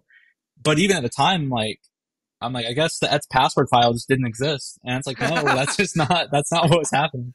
Um, so with that kind of exposure to it, uh, I started looking for similar stuff in more and more places, and I eventually realized that like the internet was slowly being built towards this like interesting like network model where like oh, you want to serve a CDN from like www.yahoo.com where like you want to serve images, but you don't have to like, you've got this very complicated configuration of like proxy rules and different passes. So maybe that, you know, slash images instead of being like a folder on like one box because of like load balance, how crazy that would be if it was just all served from the same box. Now the slash images route is being proxied to like some internal server for a CDN, mm-hmm. right? That's interesting. Do you think and this is point, a function of needing to do load balancing more effectively? I think it's a mix of things, right? I think that um, if you're a team who you have like you know maybe a static blog, but at the same time like you have uh, authentication functionality on your static blog, and the team who deploys, you know, you've got like DevOps team one, DevOps team two, and then like you have to kind of merge them together. Sometimes the easiest way to like differentiate routes and folders and things, I think, is by adding that reverse hmm. proxy and then separating the services mm. into two. Um, yeah. So yeah, like, that's probably the biggest thing that I've seen from like the engineering side is it's the service, like that service aspect.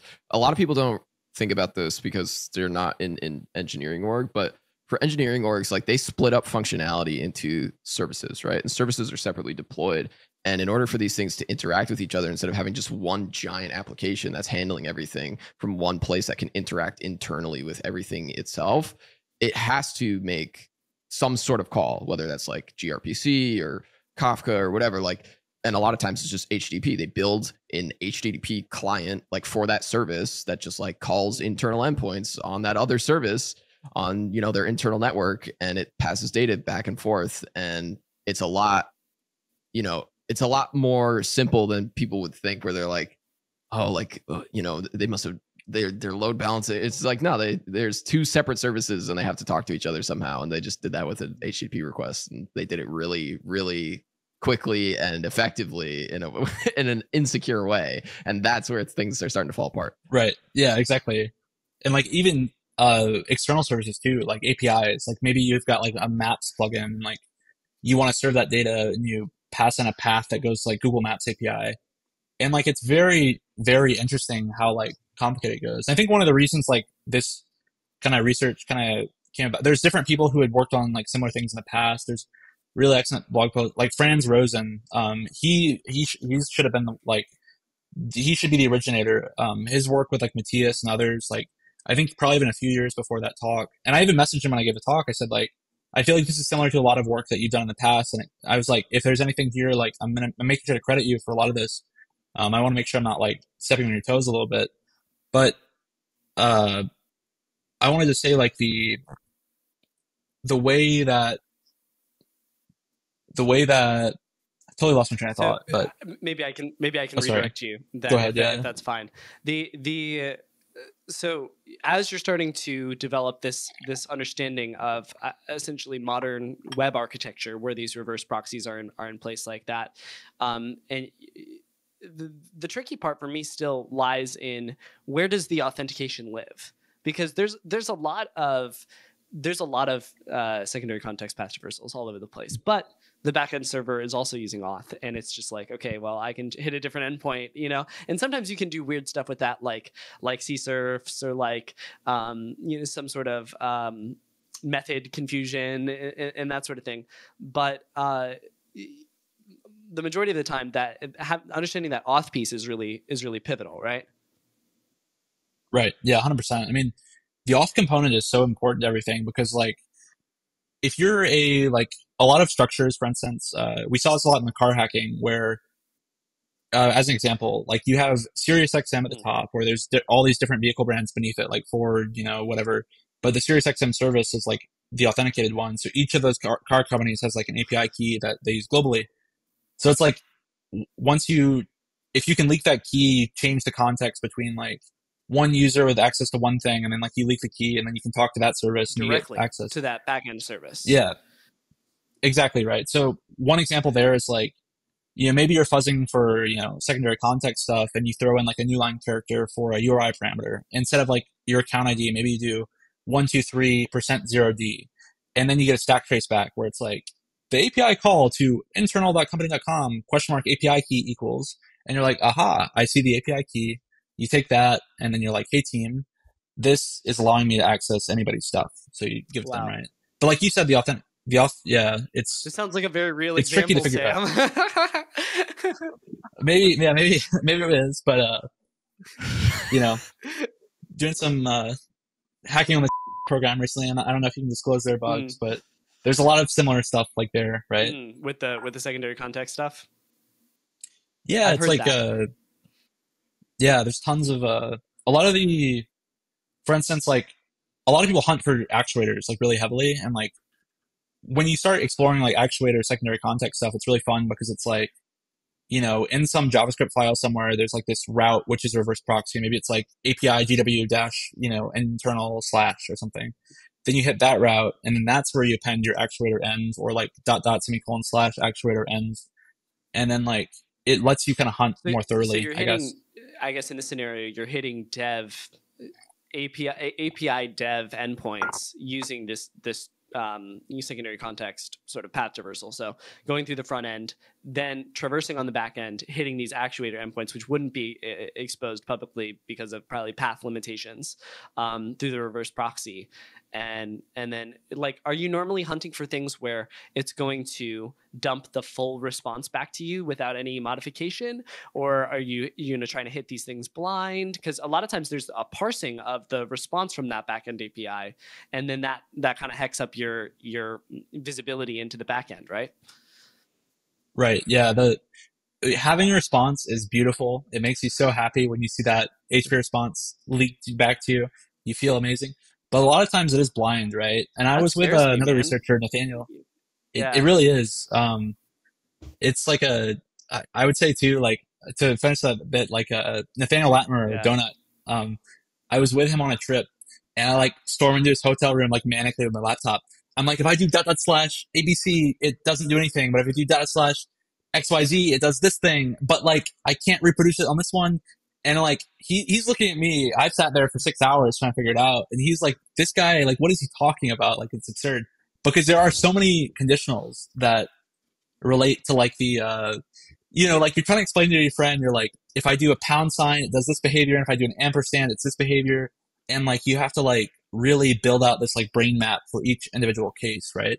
I think the most complicated, like, secondary context bug I had was like this stored, uh, you would add a value to a database with like an and sign and like change the param- you change the format from XML to JSON.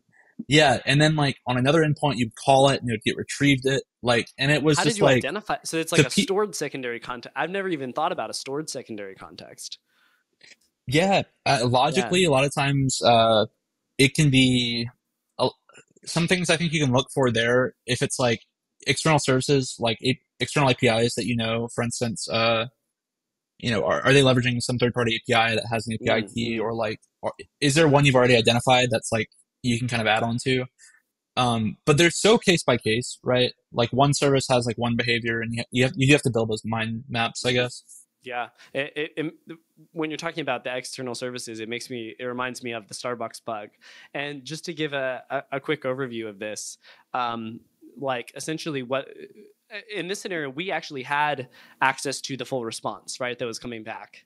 And and we were able to on that one we were able to path traverse back on on this starbucks api and hit it was it was a third party right? It was microsoft was it graph Yeah, it was a Microsoft Graph Search. I think it was like a. They had like a. I don't know if it was a third party service or it was a utility they had, but it was connected to their core, their their core Starbucks. 100 million user records was it was connected to. And, and, and so But- essentially, like we, we were working on this together, and what amazed me when we were working on this together was one that you, that you identified one that leaked the full response, which allowed us to get so much more interesting data back. But um, uh, but for two, you were able to brute force these paths along the way. And I just, I don't know, man. I don't know. Maybe it's just because I don't do a lot of brute forcing as a part of my methodology, but it's just, that's just some, and Frans, Frans does it even weirder. I mean, Frans brute forces it as well, but Frans also just has like this sixth sense of like, you know what? I bet customer is before this. And, and it's like, and then he'll guess because we, we were working on this target and it was like, and it was we weren't allowed to brute force. They said explicitly, literally no brute force. Please do not brute force it. Okay. And so we're, we're like, we need to brute force it because how are we going to figure out the paths, you know, that we're traversing? And Frans just guessed four paths deep. and I'm like, That's so good. you've got to So be kidding me, man. Um, so I guess for this, in your experience with the brute forcing, what is your approach to that? What word lists are you using? Are you generating custom things? You know, is it just something I've got to start doing that I'm not doing? Yeah, I mean, a really a really simple list that I like to use. Um, it's in Burp by default, but it's like server side variable names, and it's just like Never heard you that. know path parameter. Yeah, Exili, uh, Maik Hmm. Robert showed me this. Like he uses it from time to time for like parameters and stuff. But I think if you go to the simple list, it's like server side variable names. Huh. But uh, the thought process for trying to brute force the paths or guess the paths is like one, it lets you confirm that like you're not just traversing to like the same request you're on. Because a lot of the times what will happen is like you think you're traversing, but in reality it's like a normal side like API Hmm. request where it's been condensed down to the normal request, so you're actually just calling yourself. So Um, annoying. But yeah, it's very you're like, oh, I'm just you know, you like spam someone out and you're like delete our messages, you're like, never mind, ignore me. Um but the uh but br- brute forcing the paths is really fun because like you know you can kind of guess like for instance Fran- uh, if it's Frans I've mispronounced his name for 10 years you know so I apologize. Um but he w- he would doing in customer like makes a lot of sense where you can kind of guess the format formatish like v1 you know v2 v3 whatever but building it out. Um I wish there was more general Mm. tips but it really is case by case basis you know are they using camel case up lowercase upper Are they separating with And are you looking at the front you know? end a, like paths for that uh, to, to determine that information, or you because I guess at some point it's getting proxied back through, so maybe they're using similar name conventions on the back end as well. Yeah, that, that's one thing that uh, you can kind of pick up on is like on the front end, if they refer to your account as like account underscore Mm-hmm. ID or something like that, you know, those variable names that are like normal, you can kind of like interplace those. Mm. Um, most of the time, I'll just send it through. If there's no rate limiting, I have like a massive word list that Shubs gave me that is like 500,000 Yeah, or the ASCII something. Like, word lists absurd. are really good. They're really good. Yeah. Um, So, Oh. so I did want to ask. Um, you mentioned that you have these mind maps that you do. Um, can you maybe talk a little bit about what that means to you and sort of like how that plays into any note taking you do and like because again like you typically are hacking on very large scale targets and these are ongoing engagements for weeks months at a time. Um, and so there's a lot of information a lot of data a lot of connecting parts together. And even on single like small scope programs that exist and that can be hard to track we've talked a lot about note taking and all that kind of stuff how do you keep track of everything how, how are you remembering these gad is it all just like a bulletin board in your mind that is very just like fragile or is or do you are you writing stuff down like can you talk a little bit about that I wish. I can hardly remember what I had for breakfast yesterday. Um, mostly it's a Discord channel with people. Like mostly, if I find something interesting, anything interesting whatsoever, I'll post like the JavaScript file I found it in, if it was a JavaScript file, and then like the route, and then maybe talk a little bit about it because I'm normally trying to communicate it to somebody else in the group chat. Like, hey, this is interesting for this reason. So I kind of like catalog that, and I can go back to it, um, and then like pending messages, things like that. But for building out like you know, on like the longer engagements, like building out an, an understanding, it's a lot of like, uh, you know, maybe you go to developer.company.com, you register for an API key, and you kind of look through their API requests. So, for instance, uh, we could kind of transition this if you wanted to, but we found a vulnerability. I think it was on uh, Vercel. Mm. Um, Yep. Yeah, but Vercel is a really good example because for Vercel, Vercel has this API where they talk about like all of their API requests that you can make yourself as a developer. And there's a custom endpoint on the Vercel website that takes in a parameter of your account ID and it basically generates a screenshot of your website. So it was like slash Very account fun ID functionality slash there. Yeah. yeah, it was super Mhm. fun. Um, but what was really interesting is that when you give it the, the parameter for the website, so it's like your slash account ID slash website ID, maybe like one two three slash one two three four or something, you could actually um, traverse the one two three four and overwrite the full API call. And what what I realized is that from reading the normal documentation for Vercel, it was actually making the API request to itself that was a normal documented process that you could read as a person, right? So we reproduced it and we realized that what it was doing is it was fetching a JSON response from a particular endpoint and it was parsing out the URL parameter. So this API request to make a screenshot, it would pull this, the URL from the website ID and then it took a screenshot of that specified URL. How But what did it you- was how did you doing- suss that out? How did you know that it was pulling that from the JSON response? You had to have seen the response somehow, right? So I never, I never saw saw the response, but what I did is I figured out the request by, I did the thing that you know Frans did, where you're backtracking every Right. single request until you rebuild the full request, and then uh, in that response, I was like, it has to be hitting this specific endpoint, and the only thing from this response that makes sense is the URL parameter. What? So Sam, Yeah, it's- this is this is the kind of shit I'm talking about, dude. Like how? So so so you traverse back, you look at the path, and then you just say, okay, yes, um, there is going to be in the res- uh, the JSON response at the root level, no like data, you know, data colon this or whatever. There's going to be a URL attribute, and then they're going to read that, and that's the only thing they're reading from the response. Are you kidding me? yeah, it's a bit of like you know, there's you use the website enough a little bit. I don't know. There's just something like you slowly build it up. I think from like hacking on the same target for a while, right?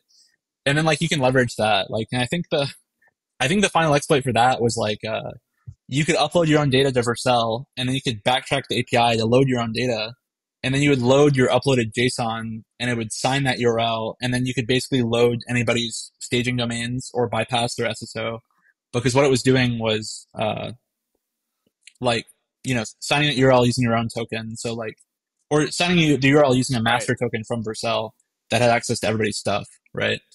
Um, Wow. So okay, yeah, I mean, so, so let me get this straight. This is this yeah. is nuts. So what you did is you find a, a secondary context path traversal. You identify by using whatever the heck that was a second ago, big brain nonsense, that you need to put a URL Sam, I, I really actually can't even wrap my head around this. No, because you're not even getting a hit. You're not even hitting an external server. What, what you're guessing is that you went all the way through this this whole thing and then you uploaded a json file to the account and then traversed and hit that and then you were deciding okay i need to put a url parameter in there like a, a url json value in there? Sam that's yeah, ridiculous. Exactly. that doesn't make any freaking sense sam Well, it's it's a lot of uh, I don't know. It's a lot of it, guessing, is what just, it sounds It made like, sense to me that it's day. a lot of guessing and, and intuition, which which is very for for me yeah. that is definitely not my strong suit in bounties. Like most of my stuff is very much yeah I think logically oriented and logical flows. But this was a lot of guessing and a lot of intuition. What I mean is it is it just something that you feel uh, when you're doing this? Because that like and, and I can I can understand that in some scenarios like the Frans thing um, with traversing back and then guessing the path like that amazes me for sure, but I can understand it a little bit because, like, okay, you know, you understand the architecture of APIs, but something like this where you're guessing the structure of the response and you don't even have it hitting your own server, so it's not, but you have to like upload a JSON file and then traverse to that and then help. Yeah, yeah. So, um, so, so I was, I, would like to say, um, you mentioned intuition here, and I was listening yesterday to a really interesting podcast about intuition and like when you can and cannot trust your intuition. Okay. And intuition is one of those things that's like really built up over time um, as like a skill where like you uh, uh, back to chess right you see this all the time with chess where chess grandmasters um, they have played chess for so long that they have a mental intuition of what moves make the most sense, even if they can't really explain why it makes sense, because they've done it so many times for so long. They've thought about so many different hands and scenarios and, and moves and everything that they're like, you know, this makes the most sense. I can't really explain why, but it does. And they're right. Um, and I think a lot of that is the same with Bug Bounty, where it's like this intuition that you hone in over time, um, both on individual targets, but also like as a whole, right? So I think uh, I was I was looking back through our messages because uh, like a month ago you you'd said this thing that really stuck with me and you're like there's a five day hump on any program quote Frans Rosén on this and if you brute force brute, brute force past this you become an unstoppable force. And I love that because I think that is like your intuition being like hang on a second I'm a I'm a dull right now. You got to sharpen me up yeah. a little bit. And after five days then you've got this specific intuition for the target you're looking at, right? Like when you're testing stuff and you're like, you know, it's got to be a URL parameter in the, in the response in this JSON body. It's because you've got five plus days of like banging your head against the wall, basically going back and forth with like, what is this developer doing? Like, why, why, why did they make this choice? Oh, they do things like that. Oh, okay, that's weird, but all right, I guess that's just how they do things.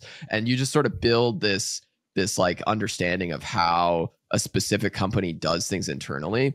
Um, and back to the intuition part, right? When you can trust your intuition is when you're in an environment that is like slow to change. And so, especially when you've honed your I- intuition on a target, that target is not going to be like, yesterday we were doing things this day, this way, but tomorrow we're going to do it completely differently. Yeah. Right. And so, you can actually hone your intuition on a target like really, really well because you do understand how they do things you can build up an understanding like implicitly internally of like okay this is probably how they're actually doing this and i think like that's something that you mm. do a really good job of capitalizing on. Right i totally agree with that like the uh that happened too like tesla I, this is sort of no, a similar no, bug where it's don't, like don't no, yeah, oh, sorry. hold on i'm not letting you weasel your way out of that last one okay?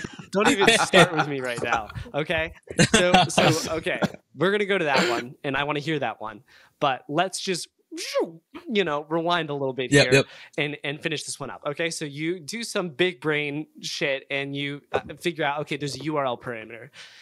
What do you put in the URL uh, the URL parameter in the parameter JSON attribute in the response uh, of this traversed backend API request? Are you putting in your own host? Are you putting in uh, initially, or Yeah, so originally what I did is I put in my own host and I saw that there's a like signed header, which is like a session. It's like this is the URL signed. That way the server can like access it, you know, because Vercel's God Mhm. key is being signed here and it loads dude, the website. I wish it would just send you But- the God key, man.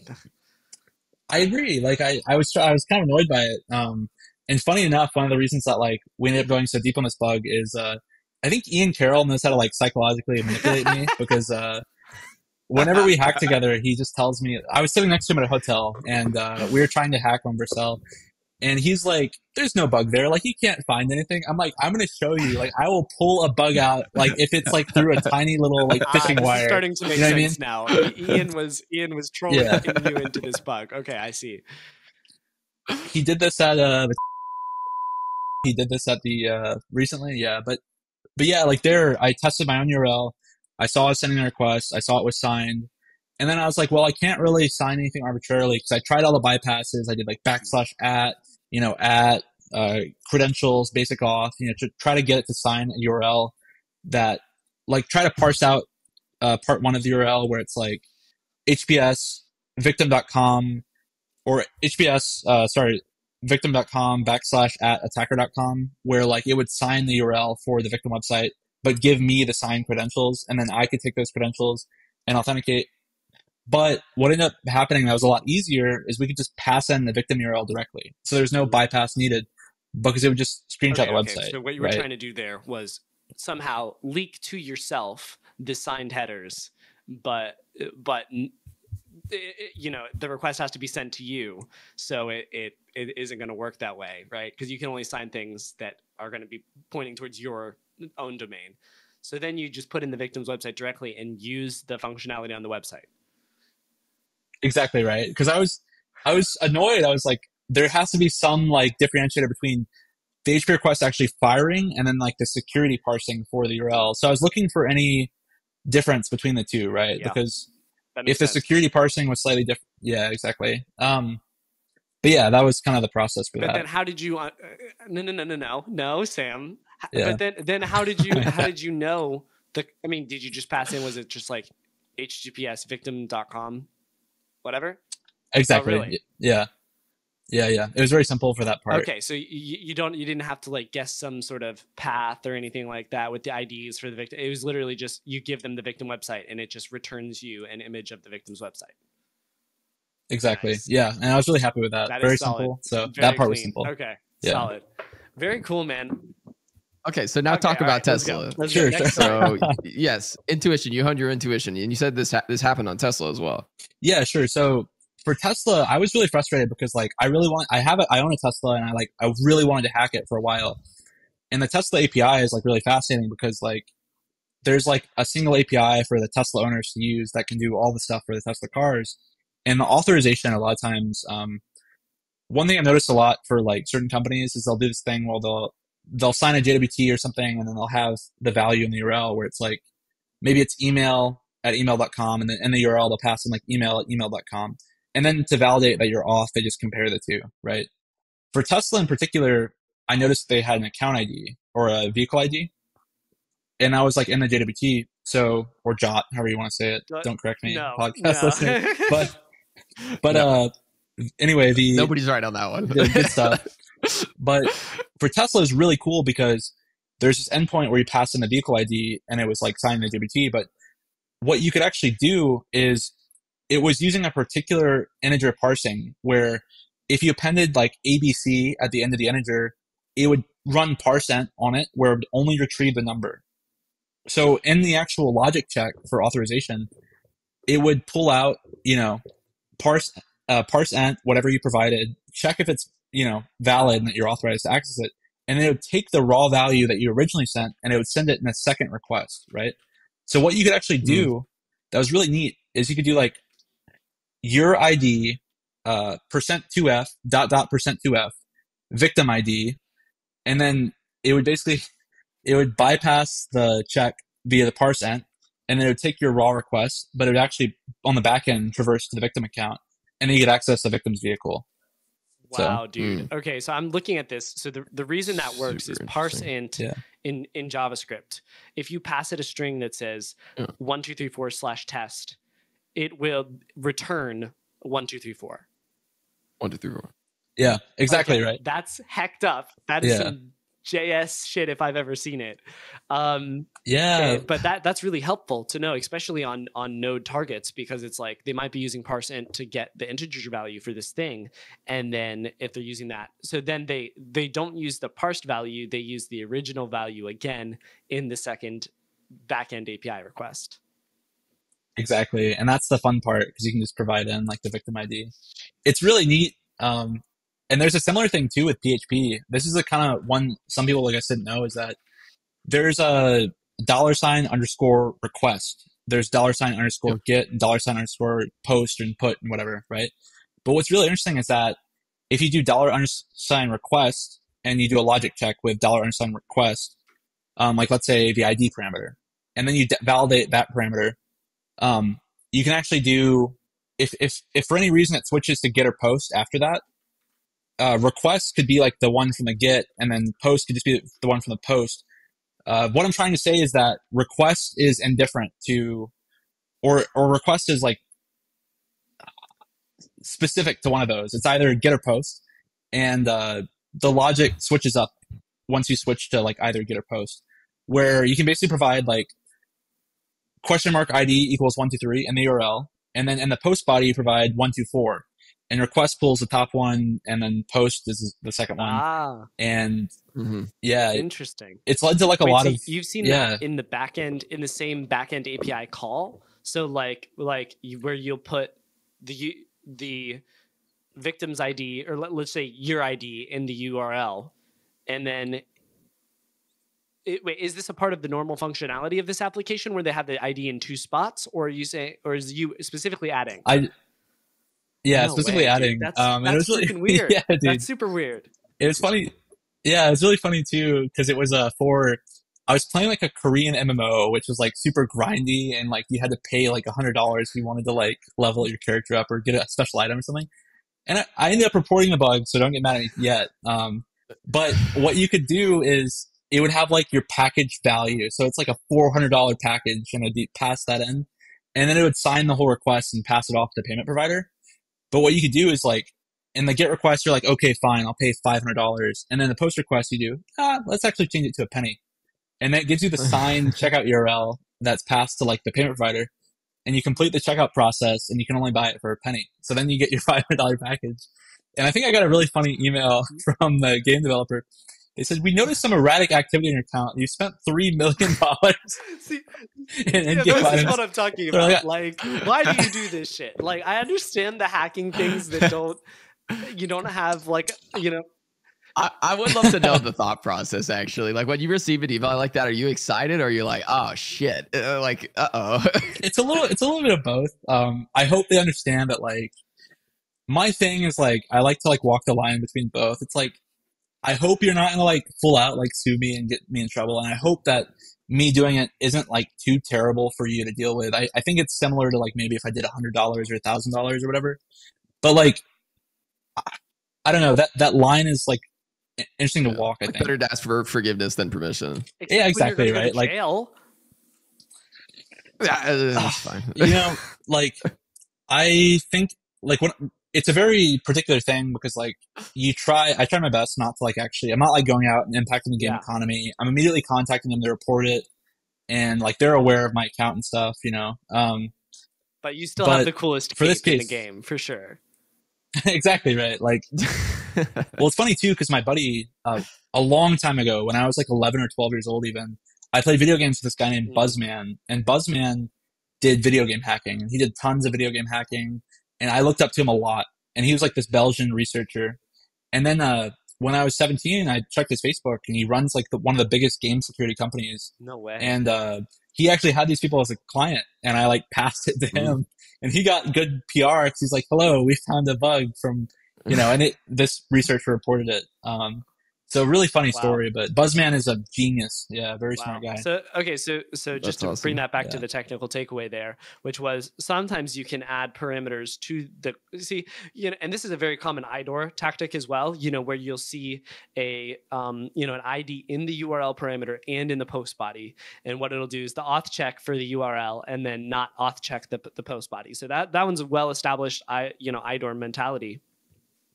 But this is this is also applying in in this sort of scenario where you can get you can add it specifically to one or the other and i, I kind of Right. I, I I kind of am curious how that actually would work on the back end because it's like okay you know i can see how they would do path level authorization in those other scenarios but i can't really see how they'd be like all right you know let's just say it's php here um, dollar sign underscore get you know that and then check Yeah. but maybe it's it's request but then it's overriding it you know but it, you, you know what i'm saying like how does this work Yeah. So I think what originally happened was it was a put request and it, the auth check was using underscore request, Mhm. right? And when it was a put request, I think PHP was like, oh, cool, it's a request, it's a put request, it's coming from the body, right? But then in the actual logic of the application, it did underscore get, right? weird So auth check request, actual functionality was get. Or, Yeah, or maybe exactly, there's like right. a, if there's a get parameter that has this specific, you know, like user ID or whatever, then perform the auth check and then auth check equals true or whatever. You know, after that, Yeah. could be it too. Wow, very interesting, Sam. I hadn't I had never thought of that. That's that's a that's a pretty cool one to to take away. Um, and that, that's mostly regarding authorization stuff for these, or, or I guess eh, like you said, it could override values, application level values as well. And it make, makes me think of a um, client-side path traversal that I recently found, which is my my shit right now. I just love client-side path traversal vulnerabilities, but essentially what it was is, um, you know, the the target would send a an empty uh, post request to a given endpoint once I've done the, the client side path traversal in the URL.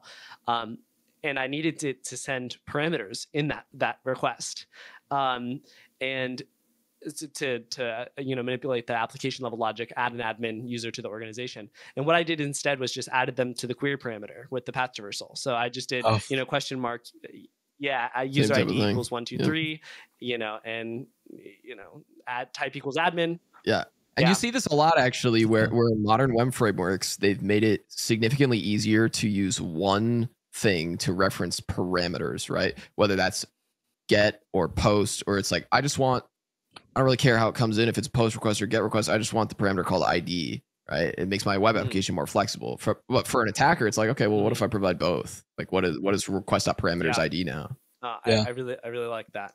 That that's pretty rad.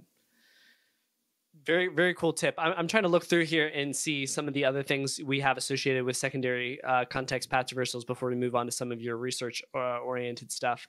Um, the or, the other thing that I see here is so we covered fuzzing for endpoints.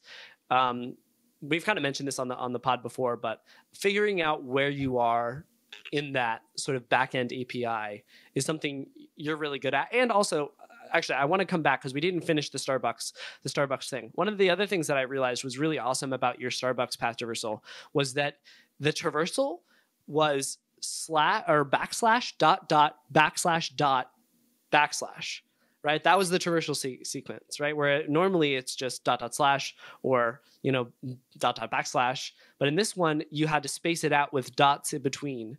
Why were you doing that? And what kind of similar methodologies do you have with that that may help?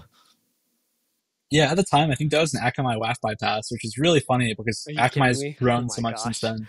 Yeah, so if you did like dot dot slash dot dot slash, it's like stop. That's too many backward slashes. But you're like dot slash dot slash dot dot slash, and it's like all right, you know, like that checks out. And I think maybe Akamai even like in the blog post, it was like kind of a call out because I was like, yeah, WAFs are bad. This is why this worked. So I think maybe they're like, damn, we gotta fix our bad. Not saying Akamai is, well, I'm the reason Akamai fixed their thing, but it was a little call out to Akamai. I was like, damn, this was like kind of embarrassing. You guys need to get yourself together. Maybe pay better yeah, so so I mean when you're doing this, I've seen you do like even spaces and new line character. What, what kind of stuff are you trying in order to achieve these backend traversals, and what kind of stuff have you seen work with any consistency? Yeah, so one person who really kind of helped and like kind of get my methodology good to this is Mm. Andre, or sorry, An- Andre, Zero X ACB. Um, Andre Baptista, I think is how you say his last name, but he is uh, one of the best, like has one of the best methodologies. He made a tool for this where it's like if you're trying to traverse directories, there are certain areas where you should be fuzzing. So for instance, you could do dot dot percent zero zero to ff slash. So then instead of you would basically add before the slash an, a character there, and then you enumerate through all the hex code, and then you know maybe percent zero d gets removed when it gets tra- like transacted to the next API, Yeah. and then it turns into This is recollapse, is that right? yeah recollapse. Yeah, uh, recollapse is great. Um, so my methodology for like trying to figure out if directory traversal works is like try the normal stuff, you know, dot dot backslash dot dot percent zero d slash dot dot whatever. But then if I can't figure it out, I'll just send it to intruder and then do zero zero to ff. Okay. And I've had like really, yeah, I've had some good luck just like with random stuff, like percent zero nine, like a tab or something. Sometimes for like .NET Oh, yeah. applications would work, and it's yeah, it's really fun. No, I, I like that Um, that whole brute force the the URL per, or the URL decoding space essentially um, percent zero or zero zero to percent ff that that's that's quite good. I and I use that often as well. Um, and I, you know sometimes there's some weird Unicode bypasses that that won't hit, um, but those are pretty pretty rare edge cases. And I, I kind of th- that's something that I would like to put a little bit more thought into is how can we apply like I, I essentially, I mean, there's too many Unicode characters, so we can just brute force the whole Unicode space. But it would be really interesting to categorize, like, okay, these are like white space ish Unicode characters or something like that that might get converted, and make those into a list for brute forcing as well, because that would be really helpful to have in that in that list as well. 100%. And there was a good uh, blog post too. I think it was like Unicode S's for GitHub to bypass email OAuth flows. I could maybe Google it Yeah. really quick. It was uh, um, GitHub Unicode bug bounty. Let's see. Uh, find it.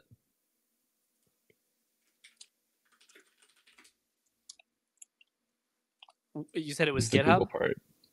Turkish, yeah, Turkish dotless I. Turkish. Thomas. Um, yeah, oh wow, This Yeah. is the this is this is one of my favorites. Andre has another thing for this. I don't. I'm not going to give the exact URL, but it's some somewhere on his website. He has a normalization table that I use all the time, and it's it's very similar to this, where it's just like you know all the standard characters, and then under every single one is just a list of all the normalization possibilities, like different v- varieties and stuff of that character, and you can just go through and you can try them, you know, on your on your you know your target. And I oh, use Oh, that dude. all the time when I'm trying to that. bypass filters. yeah. It's super I'm useful. gonna- Yeah, I'll send you a link to Yeah, it. I'm We'll, we'll keep it I'm gonna private, but yeah. DM you uh, right now to s- se- send send me Unicode list. That's great. Okay, so so Sam, just why don't you talk us through this? So hacking GitHub's OAuth with Un- or Unicode Turkish dotless I. How does this work? Yeah, so I think it was a email issue where basically like GitHub supported a bunch of different OAuth flows. So I think that when you did uh scroll through really quick, Ah, so did you they would put the Turkish dotless I after the G in GitHub at github.com.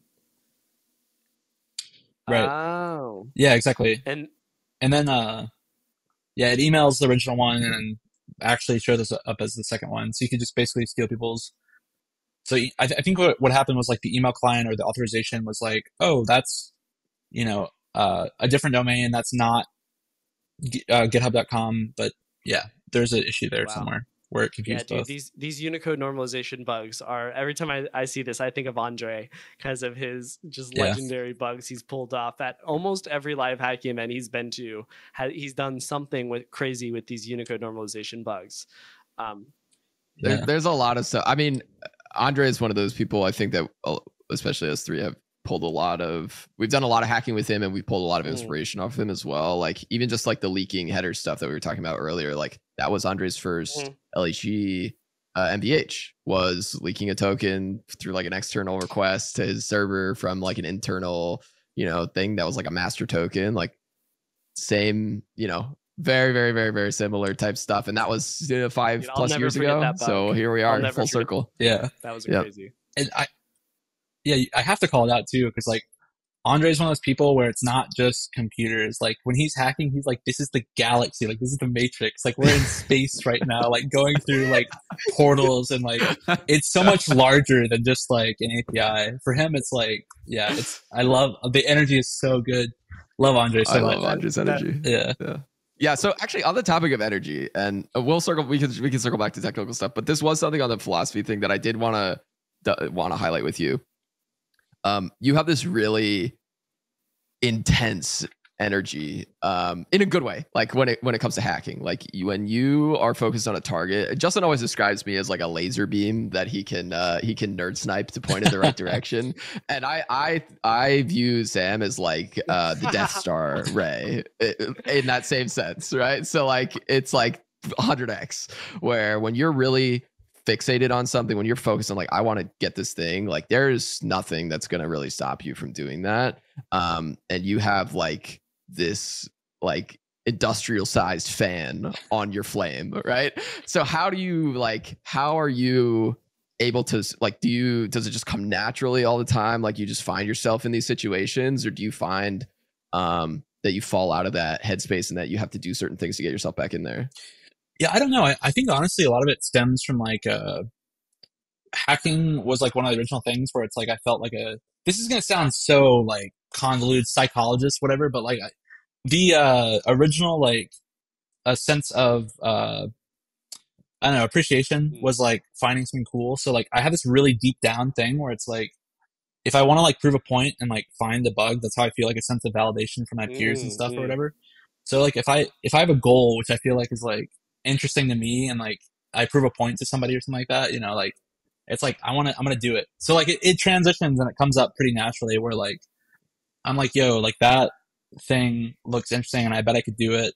Um, and it's like a fun I don't know how to describe it, but it it comes very naturally where it's like you know for instance like Yes. Something just get like gets under your skin a little bit. Like Ian being like, there's nothing here, or like whatever it is, or or you just being like, that's really interesting. I wonder if that's possible, or whatever it is. exactly And just sort of like following that that that dopamine or whatever that that interest. Yes, example a perfect example of that, like recently too, is like, uh, is it okay if I transition to the Go for ISP it, hacking Go a for it. little bit? Okay, yeah. yeah, absolutely. So, uh, yeah, like I, I had a call with my ISP technician because like I moved into a new house and like I couldn't get it set up. And like it was just kind of frustrating. They're like, I'm gonna remotely change your password. I'm like, you can do that? Like you can remotely change my modem's password. I was like, I had no idea that was possible. And I was like, I wonder what they have access to to do that. Oh because my gosh. I have a yeah, it was it was fascinating because I'm like, this is really cool. So like I spent a while investigating my own ISP and I eventually found this vulnerability because like deep down at the core of the ISP, they had built this internal API called Sail. And what Sail was used for was customer support agents and normal people to manage their router to push commands to update their router, view router settings. And it was called Sail and it would basically bypass the authorization layer to do things like update DNS or fetch device password or things like that. Fetch and I was like, if that's possible- not, not just reset You could to fetch it as well. you you can do everything. I mean, you can do This is the modem, right? this is this is a modem and this is the modem they issued everybody. It's not just their Yeah. their ISP modem. It it's any compatible So modem. It's it's fascinating, right? Because to even go back two years ago, um, to give a little even more context, is like I was hacked. Like I I got hacked. I was on my laptop and I curled a box, and what I realized was that a third party DigitalOcean IP was resending my exact same HTTP request. So I thought originally my computer was owned, and then I opened the URL on my iPhone, and I saw the exact same DigitalOcean IP was resending that same traffic. So somebody somewhere was like intercepting my traffic, and I researched it, and it was an IP that was related to like a phishing campaign, and uh, basically what I think happened was someone had compromised my modem, right? And uh, so, sorry for so much background to this, but um, it got me really interested in like hacking ISPs. But anyway, I found a way to remotely. Uh, you can remotely take over anybody's router. Um, you can update their DNS, update their password settings, things like that, um, via just So- their serial number, How did which you is find how did you find their that that API in the first place? Yeah, so what it was was uh there's a uh is the ISP that was affected. Um there's a business management website, so for business customers, and they have access to like a little bit more functionality. So if you're a business customer and you want to manage your uh, router or modem um, to like update stuff remotely or see the connected devices remotely, it would take in your request and like pass it down. And what I realized is that there was a bypass to traverse down and access the Swagger files for the API sorry, routes. Sorry, I'm going to pause you and back up a little bit there. Yep. What, why do you? Why Sorry, did you? yeah. Why were you looking at the business? I mean, do you have access to that business panel yourself, or or were you just looking at this as like, a, oh, this looks like something related? Yeah, that's that's what I was doing originally. Well, what I originally assumed is that there isn't any segmentation between and I thought that at the protocol level, from a support level, it's using the same like sale protocol. I assumed Okay, it was based on like a little bit of about the research. sale protocol beforehand or no? I'm just trying to get Uh, into the a into little the- bit. Yeah, yeah. the Sorry, sorry. headspace a little bit here. I think at the time I didn't know about that it was specifically called sale, but I realized that there's a tool set internally, and there was like a little documentation that was like scattered across like Mhm. GitHub or whatever, where it had like reset device, whatever.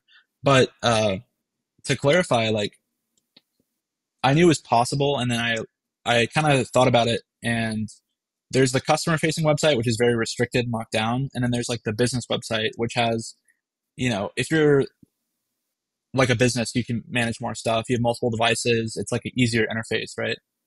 So that was the thought process. But I dug at the business website and uh, I eventually found an API which let you do those sale commands. And I f- found the second vulnerability where there was a leaked secret which was used to encrypt the router serial number in the pipe in the flow. Um, so I could basically decrypt and encrypt any router serial number that was passed in that protocol to do like anything. So Was you this could an unauth API, like, or it- were you authed into the business website? full. It was uh fully unauthed. Yeah, it was unauthed. And Everything was, found it in the JS uh, files, or were you brute forcing it? It was in yeah JavaScript. It was basically the flow was website to JavaScript to directory traversal to Swagger files to API call uh, from a traversal. So it was like a secondary context thing where you traverse to another internal routing thing. And then uh, in the JavaScript, it has the encrypt functionality because I saw the router value and I was like, that's like not a normal string. It's not. So I realized it's encrypted, so you could decrypt it. And then uh, through that, you could. It's absurd to think about to me because it's if you're the FBI, you have an office building that uses this ISP for your internet, right? And if someone was to like man in the middle of your network, they'd have to like go into your network and do the whatever. But like you can just update DNS via this, via the serial number, and it's like enumerable. And it's Oh, just we could also search by customers by name or business name. So it's like you could target like it's just Wow, dude, you know like crazy. So, yeah. So yeah. Go ahead, Right. Joel. Sorry. Well, and this is on your ISP, who's like, you know, one of the largest. I mean, they also have a monopoly where I live. Um, they're like one of two ISPs in my area. I think most people use them, and um, you know, they're they're a huge, huge, massive megacorp. Did, did they even have a security contact? Like, I, I'm almost certain they don't have a bug bounty program, right? No, they had like a they maybe had a security page, like a responsible disclosure. They did have a responsible disclosure page, but you had to like go through a couple people to actually get to somebody. Um, yeah, they didn't really seem to have like a super sophisticated. I couldn't find a security contact. Um, they maybe had a CISO, but they weren't reachable. They didn't have an email or LinkedIn that accepted the invite or anything like that. Um, Wow. yeah, no way to contact it. So let yeah. me just. I'm gonna try to concisely do this because uh, Sure. Sam, this is really something special. Like what the way that you have found this whole path, um, and it's something a little bit more foreign to me because for me, a lot of what hacking looks like is get the main application, figure out all of the functionality, figure out all of the logic, you know, find all the requests, start correlating information, deep dive the stack, you know, that sort of thing. But this whole thinking about it from an architectural level is very different. So you had a call with a support agent. The support agent said the wrong thing to Mr. Sam Curry and said, I'm going to reset your. Sam here's like mental note. Very Yes. interesting. Oh, thanks. So- Uh, okay, bye. Fucking Exactly. immediately That starts hacking. fire, and you're thinking, okay, so they have some way to remotely reset my my router. I bet that it's easier to access that through the business portal than it is through the customer portal. Maybe you went to the customer portal first or whatever, and then but then you decided to go to the business portal. Go to the business portal, no auth, no nothing. That doesn't scare you off. You're just looking at the JS files. You find unauth API access that, that you can have. You path traverse it, hit the Swagger. Then using the Swagger, you find. I mean, I imagine the Swagger did have documentation in it for all the. Yeah, okay. So at that point, you're like, Yep. all right, I'm good to go. Then from the Swagger file, Yeah. you're. Are you hitting? Is it a reverse proxy or is it a secondary context thing on that API, or was it a secondary context thing before that to hit the Swagger file? It was a secondary context to hit the Swagger file, and that opened the door. Everything was connected at Okay. that point in the secondary and context. then now yeah. you've got the keys to the kingdom with the Swagger file and the unauthorized API, and you can just encrypt and decrypt IDs because of that secret, and then you can take over any any freaking router Yeah. in your whole ISP. Yeah. Yeah, it's it's crazy to think about because it's like and and shout out to Zayat for helping me with the JavaScript too, because the encrypt function was at a certain point, so it set a breakpoint in the Mhm. JavaScript to actually call that JavaScript. Um Zayat's the master at this. He's done like a lot of really cool research. So, but uh, Uh, That's if him. you're setting an encrypt or if you're setting a breakpoint, then that JS would have to be triggering, which I imagine would only happen after auth, right? So did he have to like somehow hijack that flow and trigger that function or so th- there was a submit registration endpoint that you could hit and it would encrypt your pen code. So you didn't actually get approved or anything, but you could encrypt your uh like you know one two three four it would send an encrypted value. And so That's how I found That's it. awesome. Yeah. That's awesome. This is such a cool, a cool little like pocket of research too, because I've thought a lot about this. Like, modems are such a weird spot. A lot of modems, especially like the provided ones, they don't give you any way to interface with them, right? Like my modem, for example, has like a fiber line going into it. It's an ONT, I guess, but and then it just outputs Ethernet to my, com- you know, my my network, right? But how do I talk to the the box that like gets fiber, right? Like Mhm. that is can that's talking to the ISP. That does some theoretically some negotiation or communication back with the ISP so that some random person can just plug a fiber in and get internet for free, right? Yeah. Dude, Right? like I, you know, it's like how how does all that work?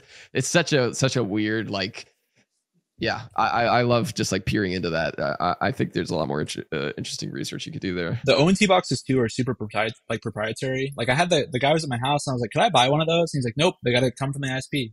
And you go to the ONT Uh, website, yeah, yeah, you can't buy them yourself. Like you can maybe get them off eBay, but yeah, very wow, proprietary. this- that would be such a fun live hacking event if some like you know Verizon or Cox or whatever is just like, all right, here's your house. And they give us a little like you know Yeah. router, it- hack us. You know that would be so. That would be awesome. Um, I love it. All Yeah, right, dude. So that was a that was a great a great Vuln story. Thank you for getting into the technical details with that. That really helps me understand from a bigger perspective what your methodology is for finding these sort of fringe assets and going after these goals that you've got. Um, the next one that I kind of want to talk about is your next next JS research um, that you did in 2022, I think. Uh, and and I, if I understand correctly, this was a was something that came from the fact that a lot of companies are using this framework now, specifically in the crypto space, and that motivated you to look into it, right? right, exactly. Like one big thing for me was like uh, with crypto, it, it's always been kind of crazy to me because like the huge thing for crypto is integrity, right? If you look at the CIA triad, confidentiality is like you, the only thing you need to really worry about is like leaking your keys. Uh, the like availability, it's like if it goes down, it's like whatever. You still have the chain access. It's like a static website. Who cares, right? But the integrity is like super important, right? So like if I'm a normal person and I want to go to Uniswap to like trade a million dollars for this or for a million dollars of that, I trust uniswap.org and I'm not really going to do too much additional verification. Like, you know, nobody's doing like hash verifications of the JavaScript or whatever they're in. It's all very like MetaMask, swap. I trust the domain name, right? So the idea for me is like, if you can get XSS on Next.js, which is what all the crypto websites use, then you have this like huge, huge integrity issue where it's like, you know, there's nonstop phishing domains. And this was the, the first case that I'd personally seen someone leverage subdomain takeover for a phishing domain because I saw on Twitter someone had taken over like something.ferrari.com and then hosted like an NFT giveaway or oh, something, really? right? Wow. And it's like, yeah, it was really cool to see because I'm like, hey, subdomain takeover. Like someone's actually exploiting that for Oh, like cool. a malicious Oh, purpose, wait. right? That's not good. Yeah, yeah. exactly. And the uh, one actual instance of it being exploited in the wild. exactly like so that that was always fascinating to me so like the next next.js like every single website you proxy it you see underscore next and you're like oh my god same thing over and over and over so for me it's like let's investigate this and maybe there's like a core issue because personally like vercel and netlify and all these companies they're like great they're great companies but like the bloat um associated with it. There's a really funny quote actually from like YTCracker on a blog he wrote a long time ago and he says uh if any one of these like all it takes is like one of these like fringe javascript framework developers to die of like adderall overdose and like a quarter of the internet goes down nobody can ever fix it again because like it's such a particular library so Yeah. It's like the XZ thing that that's happening right now. Like libxz, we came like so close, just like grazed the God. sun yeah with uh with how that could have been. And it's the same thing, right? It's like all it takes is one really widely used library or framework or something to get popped in a fundamental way, and everybody's like, Everyone's "Oh screwed. shit, that Yeah. that affects everything." Yeah, Yeah, exactly. And for for Next.js especially too, it's like at the time I was so focused on crypto, I was like, let's try to target all the crypto websites. So I worked with Shubs on this one, and we went deep on the source code for the actual like image proxy mm. functionality. Basically, what they've done is they've baked in this like image optimization feature where, you know, maybe in the past you've had like an external image that has to load each time, but like instead of reaching out to the other website, it does the closer server and it optimizes it and caches it so you don't have to like waste the network traffic. So what that actually does is like the server itself is originally making that request to fetch the image, right? So if you loaded like, uh, I think it was underscore IPX slash external URL, it would, uh, or underscore IPX slash trusted URL, like percent 2f image.png. What you could actually do through investigating the source code is you could add a header to overwrite the external URL that it reaches out to, and then it would cache Ah. it. And we, what we realized is that you could do, yeah, SVG files. And by doing an external SVG file and caching it on that URL, you could save like percent 2f test.html or test.svg, and then it would cache the XSS payload. And you could send it to somebody else. And since it was at like a library level, you could do it like on any website, Wow. right? And so, Yeah. did you get that from Mm. reading the source code for for that? I imagine that wasn't just experimentation.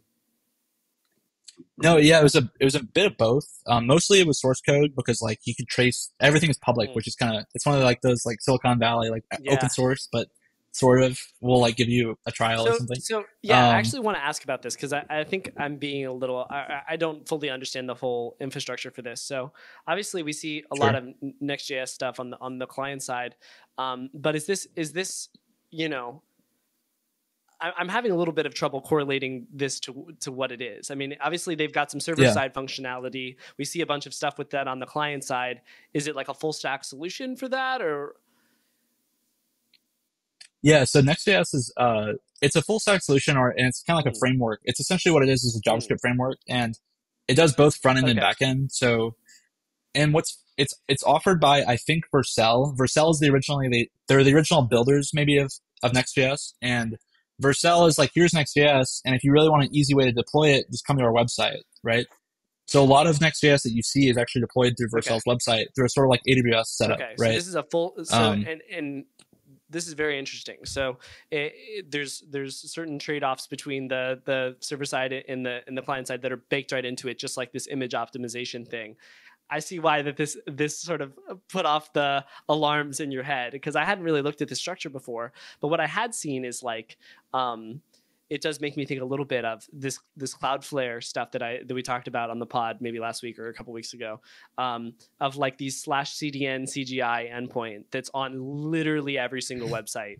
Um, there's got to be some weird stuff there, man. I swear. Uh, right. I- yeah. yeah. a- Yeah. Any, I mean, there's a lot of things that are like this, right? Like, imagine if somebody finds an XSS oh in Google Tag gosh, Manager. Yeah. Oh my Right, god. like- yeah. Right. It's like every website in the world. It's you know, yeah. I think I was hacking on like that was one of those things where it's like I was hacking on like some really hardened target, and it was, some, it was used by everybody. It was like something similar to like Mm. Venmo or something like that, right? And what I saw was that there was a JavaScript dependency and the source, and I'd never seen that domain before, and it was like a tenant based JavaScript file. So like you could customize your JavaScript for your tenant on that third party SaaS product, and it was being added to this.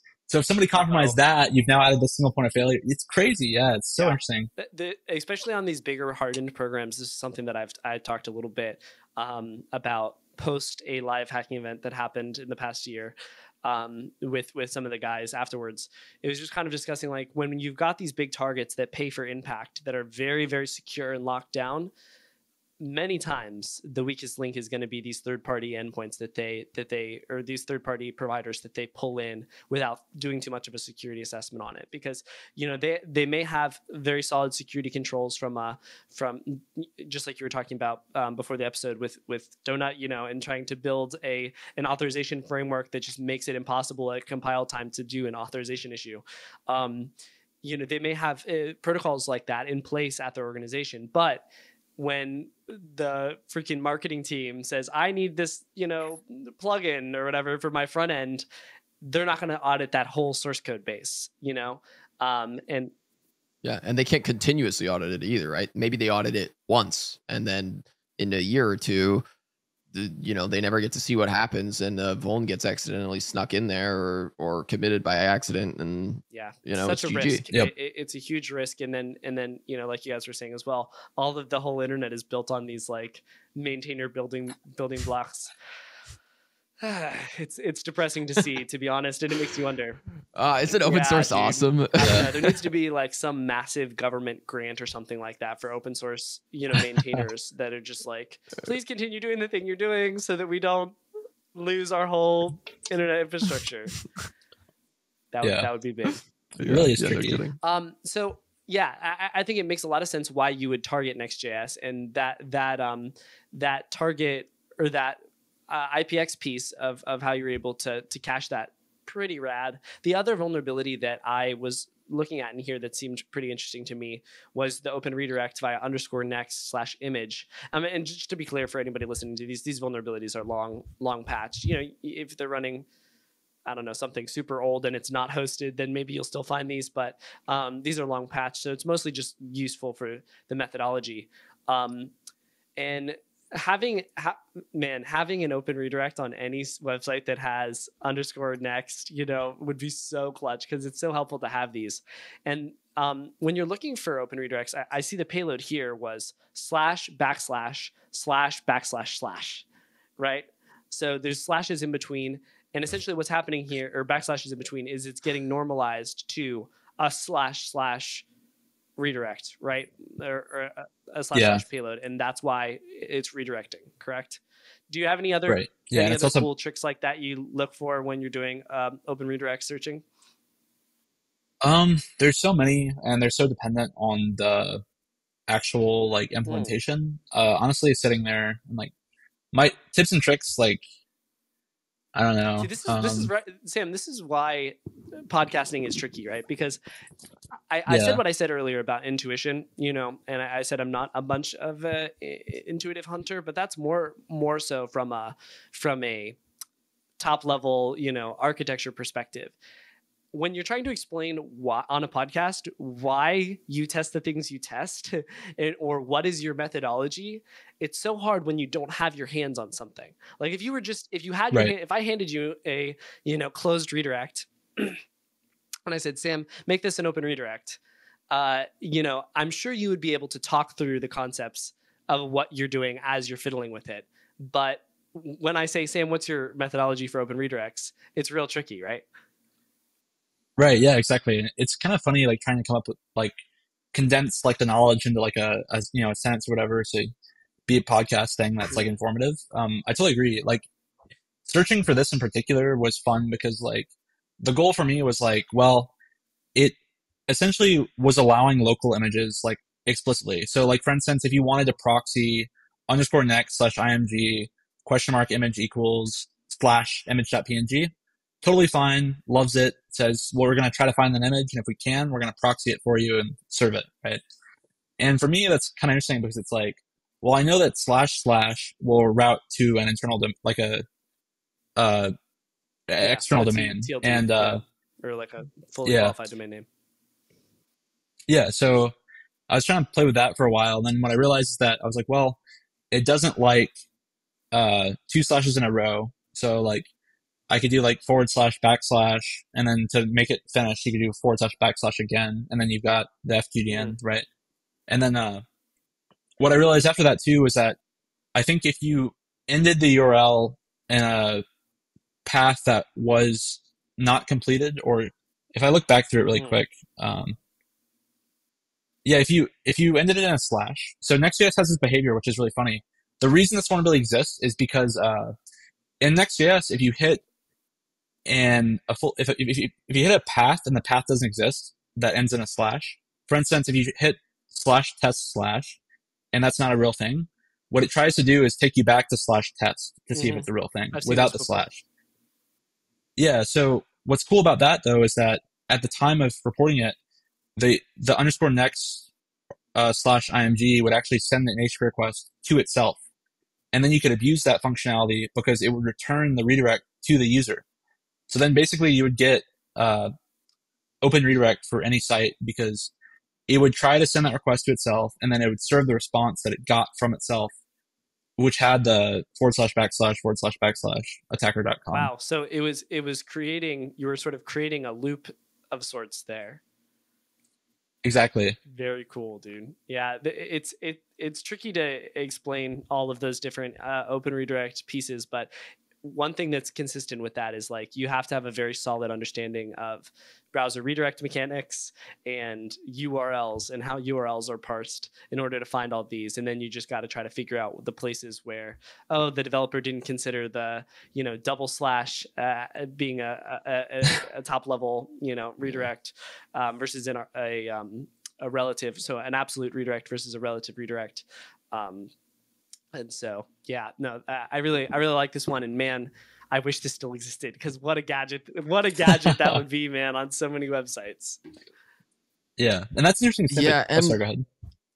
Uh, Well, I was gonna ask, like, did you approach it at all from like the static analysis or like the just because you have like the JS right in front of you, so it's.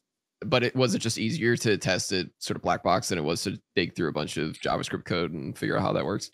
Yeah, luckily for me, I'm I'm a very non-source code person. I'll do fine with source code, and I enjoy it and I appreciate it. But for me, uh, I like to just test the actual functionality versus trying to dig into the code. Because one thing that my philosophy a little bit is when the developers wrote that code, they wrote what they intended it and wanted it to do. And even though if you know the tricks around it, sometimes you'll trick yourself into thinking that something's working intended. And if you take the approach of like an external person who's like, well, I don't think it's working as intended, we'll try to figure it out, then sometimes you can get better results. But it's cool to work with Shubs because Shubs is a fantastic like source code auditor. So we kind of merged a little bit where I was like smashing the keyboard and he's like analyzing stuff in the source. and you can you can That's awesome. you know Yeah, bounce that's off of each other too where you say hey i'm seeing something weird at dynamic analysis go figure out why that's happening and then you know they go figure out why that's happening and it leads you to a clear picture of like okay that's why that's happening and you can exploit it further because you now have introspection into the code surrounding the fringe weird functionality I, I like Right, that. yeah. I like that. All right, man. We are two hours and twenty minutes in right now, so um, Oh, let's wow. let's go ahead and and wrap up. The last thing that I, I wanted to talk about here was you mentioned before that you have um, a lot of success with dev versus prod um, in, in the context of JWTs being used uh, as a form of of um, of authentication. Can you talk a little bit about that and maybe I don't know if you have a story about it, but you can feel free to share a story if you do. Yeah, sure. So uh, the dev versus prod thing is really fun because uh, if you're a developer and you're writing like a Next.js application and you have like, you know, if I'm a startup and I start a company and I use Next.js and I do all the things correctly, but let's say I accidentally reuse the same key and I store it in my source mm. code, and then I deploy a dev site and a mm. prod site, and I'm provisioning user IDs for each mm. registered user. If I register in dev, I'll be user ID three or whatever, but in prod, I'm like user ID 463. But a lot of times what I could do is just copy over the dev JWT to prod, and then I could access account number three. And then like some funny stories too with that. Um, it, it's just kind of part of my attack methodology now for like Next.js websites because it's just one of those things I saw like a few times. Yeah, I think specifically for Next.js because uh, honestly with Next.js it's getting a lot harder to test for bugs. I feel like because like you've got everything in the JavaScript and like I don't know, it, it, it's all there, but like it just gets boring. It's the same thing over and over again. So it's just not like entertaining to hack on. So I kind of I've been trying to do this for uh, Next.js websites because I know it's a common thing I've seen. Um, but yeah, copying the staging JWT to prod and then seeing if there's an indifference for which and account you get if the secret's the same. That there's normally one piece of information they're basing uh, their auth off, off of there, like like an ID versus like an email or anything like that. Yeah, a lot of times, a lot of times it's ID, but other times it's email. The ID ones are sometimes harder to exploit because it's like UUID based, and then you can't really do anything unless you can control it. But the ones that are fun are the email ones that don't like require confirmation. Mm-hmm. Um, cause say you register like admin at company.com and like you do on one and the other and the other one's not registered, then yeah, you generate it. Just target whatever account um, you want and then just opt into it. That's exactly. Cool, yeah. Man. And the, it's, yeah, it's been a vuln for a long time or like kind of a vuln class, but I've seen it kind of pop back up a tiny bit. I think I think Irby Irby also mentioned that this is a part of his function uh, or normal methodology for this sort of thing, and I know he's popped some cool bugs with that in the past. Um, so there's definitely there's definitely bugs to be found in that in that uh, area, and I'm I'm kind of wondering as well what your what your recon looks like then, because you do have this whole thing where you're like where you're going deep for sure but you're also finding the fringe assets you need to find to get the impact. So, to what degree do you spend time on on recon versus focusing on hacking the applications you've discovered? Yeah, so recon, like I love recon for getting an understanding and feel of the app. For instance, finding like you know dev.ant.company.com versus prod, or and like kind of understanding the infrastructure. Um, I'm not a really big fringe asset hunter, so I'm not really somebody who goes at like you know some crazy subdomain that popped up for four seconds on cert.sh, right? Like I can't do that. It's not my style. Um, but what I'll do is I'll use recon data to kind of get an understanding, like whether or not there's Akamai hosts for everything. And one of them is a non-Akamai host, and they can change the host header and do, you know, like that's how you get info. But um, what I'll do for targeting assets is like try to pull together an understanding. Like maybe there's a domain that has like a swagger file, maybe there's a domain that has this, and then I'll try to use it to attack whatever has the most functionality. Whether that's www, my account dot, app dot, mostly those core ones I try to mm, stick to. Mm. Dude, that's yeah. one of the most balanced approaches I've I've heard of. Uh, it takes uh, on the pod is like use recon data to the extent that it gives you a picture of the organization and to explain the full architecture of the organization, and then from there you attack the thing that has the most features and the most attractive features as well. Very right. Very yeah, I love that because it's yeah. There's another yeah. There's a hacker, uh, mm, Cash Money Tanner. Tanner. He uh he has a similar attacking style of like Jack mm. Cable, mm. maybe even Irby, but they're all like swear to the fact they're like manual hackers who they'll employ stuff like they'll script stuff definitely like I've seen Tanner script like crazy stuff and he's done really well but like mostly they seem like they're manual testers where it's like it's like why wouldn't you go after the part of the app with the most functionality like if i could some random asset's going to have two api calls that are like integers and not versus the main app is like six years of like 400 developers rotating in and out of being fired yeah. or new ones and like you know what i mean Hundred percent, dude. Wow, that's a that's a great way to wrap off this pod. Is is that that really balanced approach to recon and in looking at an organization holistically rather than an individual web app. Um, that's that's definitely something for me to chew on. Joel, did you have anything else you wanted to toss out there before we bounce? Um, no, I mean, I'll I'll open it up to Sam because um, you know, I know we've talked about a bunch of different things, but uh, you know, obviously, hack compute and some of the other stuff you're working on, your blog, um, just, you know, where can people find you and uh, yeah. and what and watch out for more of your awesome research. Yeah, uh, I think samcurry.net and then uh, hackcompute.com. Uh, yeah, I'm trying to continue to publish like cool web stuff to samcurry.net, but I haven't done too. I, have been doing a lot more, so I'm kind of happy to be able to publish some more stuff. But uh, besides that, like hackcompute.com, I want to publish more AppSec stuff. Um, yeah, mostly thank you to Justin and Joel for putting this together. Like, I don't know if to the listener, like behind the scenes is so much effort. Like, there's a full Google Doc of like 10 hours of like writing out, like, and then researching and figuring stuff out. Yeah. So it's total honor. Um, really, really appreciate them. So well, that's thanks, it. thanks for coming on, Sam. We'd love to have you on, and uh, we'll definitely have you back on in the future to share some of this cool research that's coming off at uh, at samcurry.net. So, all right, that's the pod. Cheers. Peace. Peace. Peace.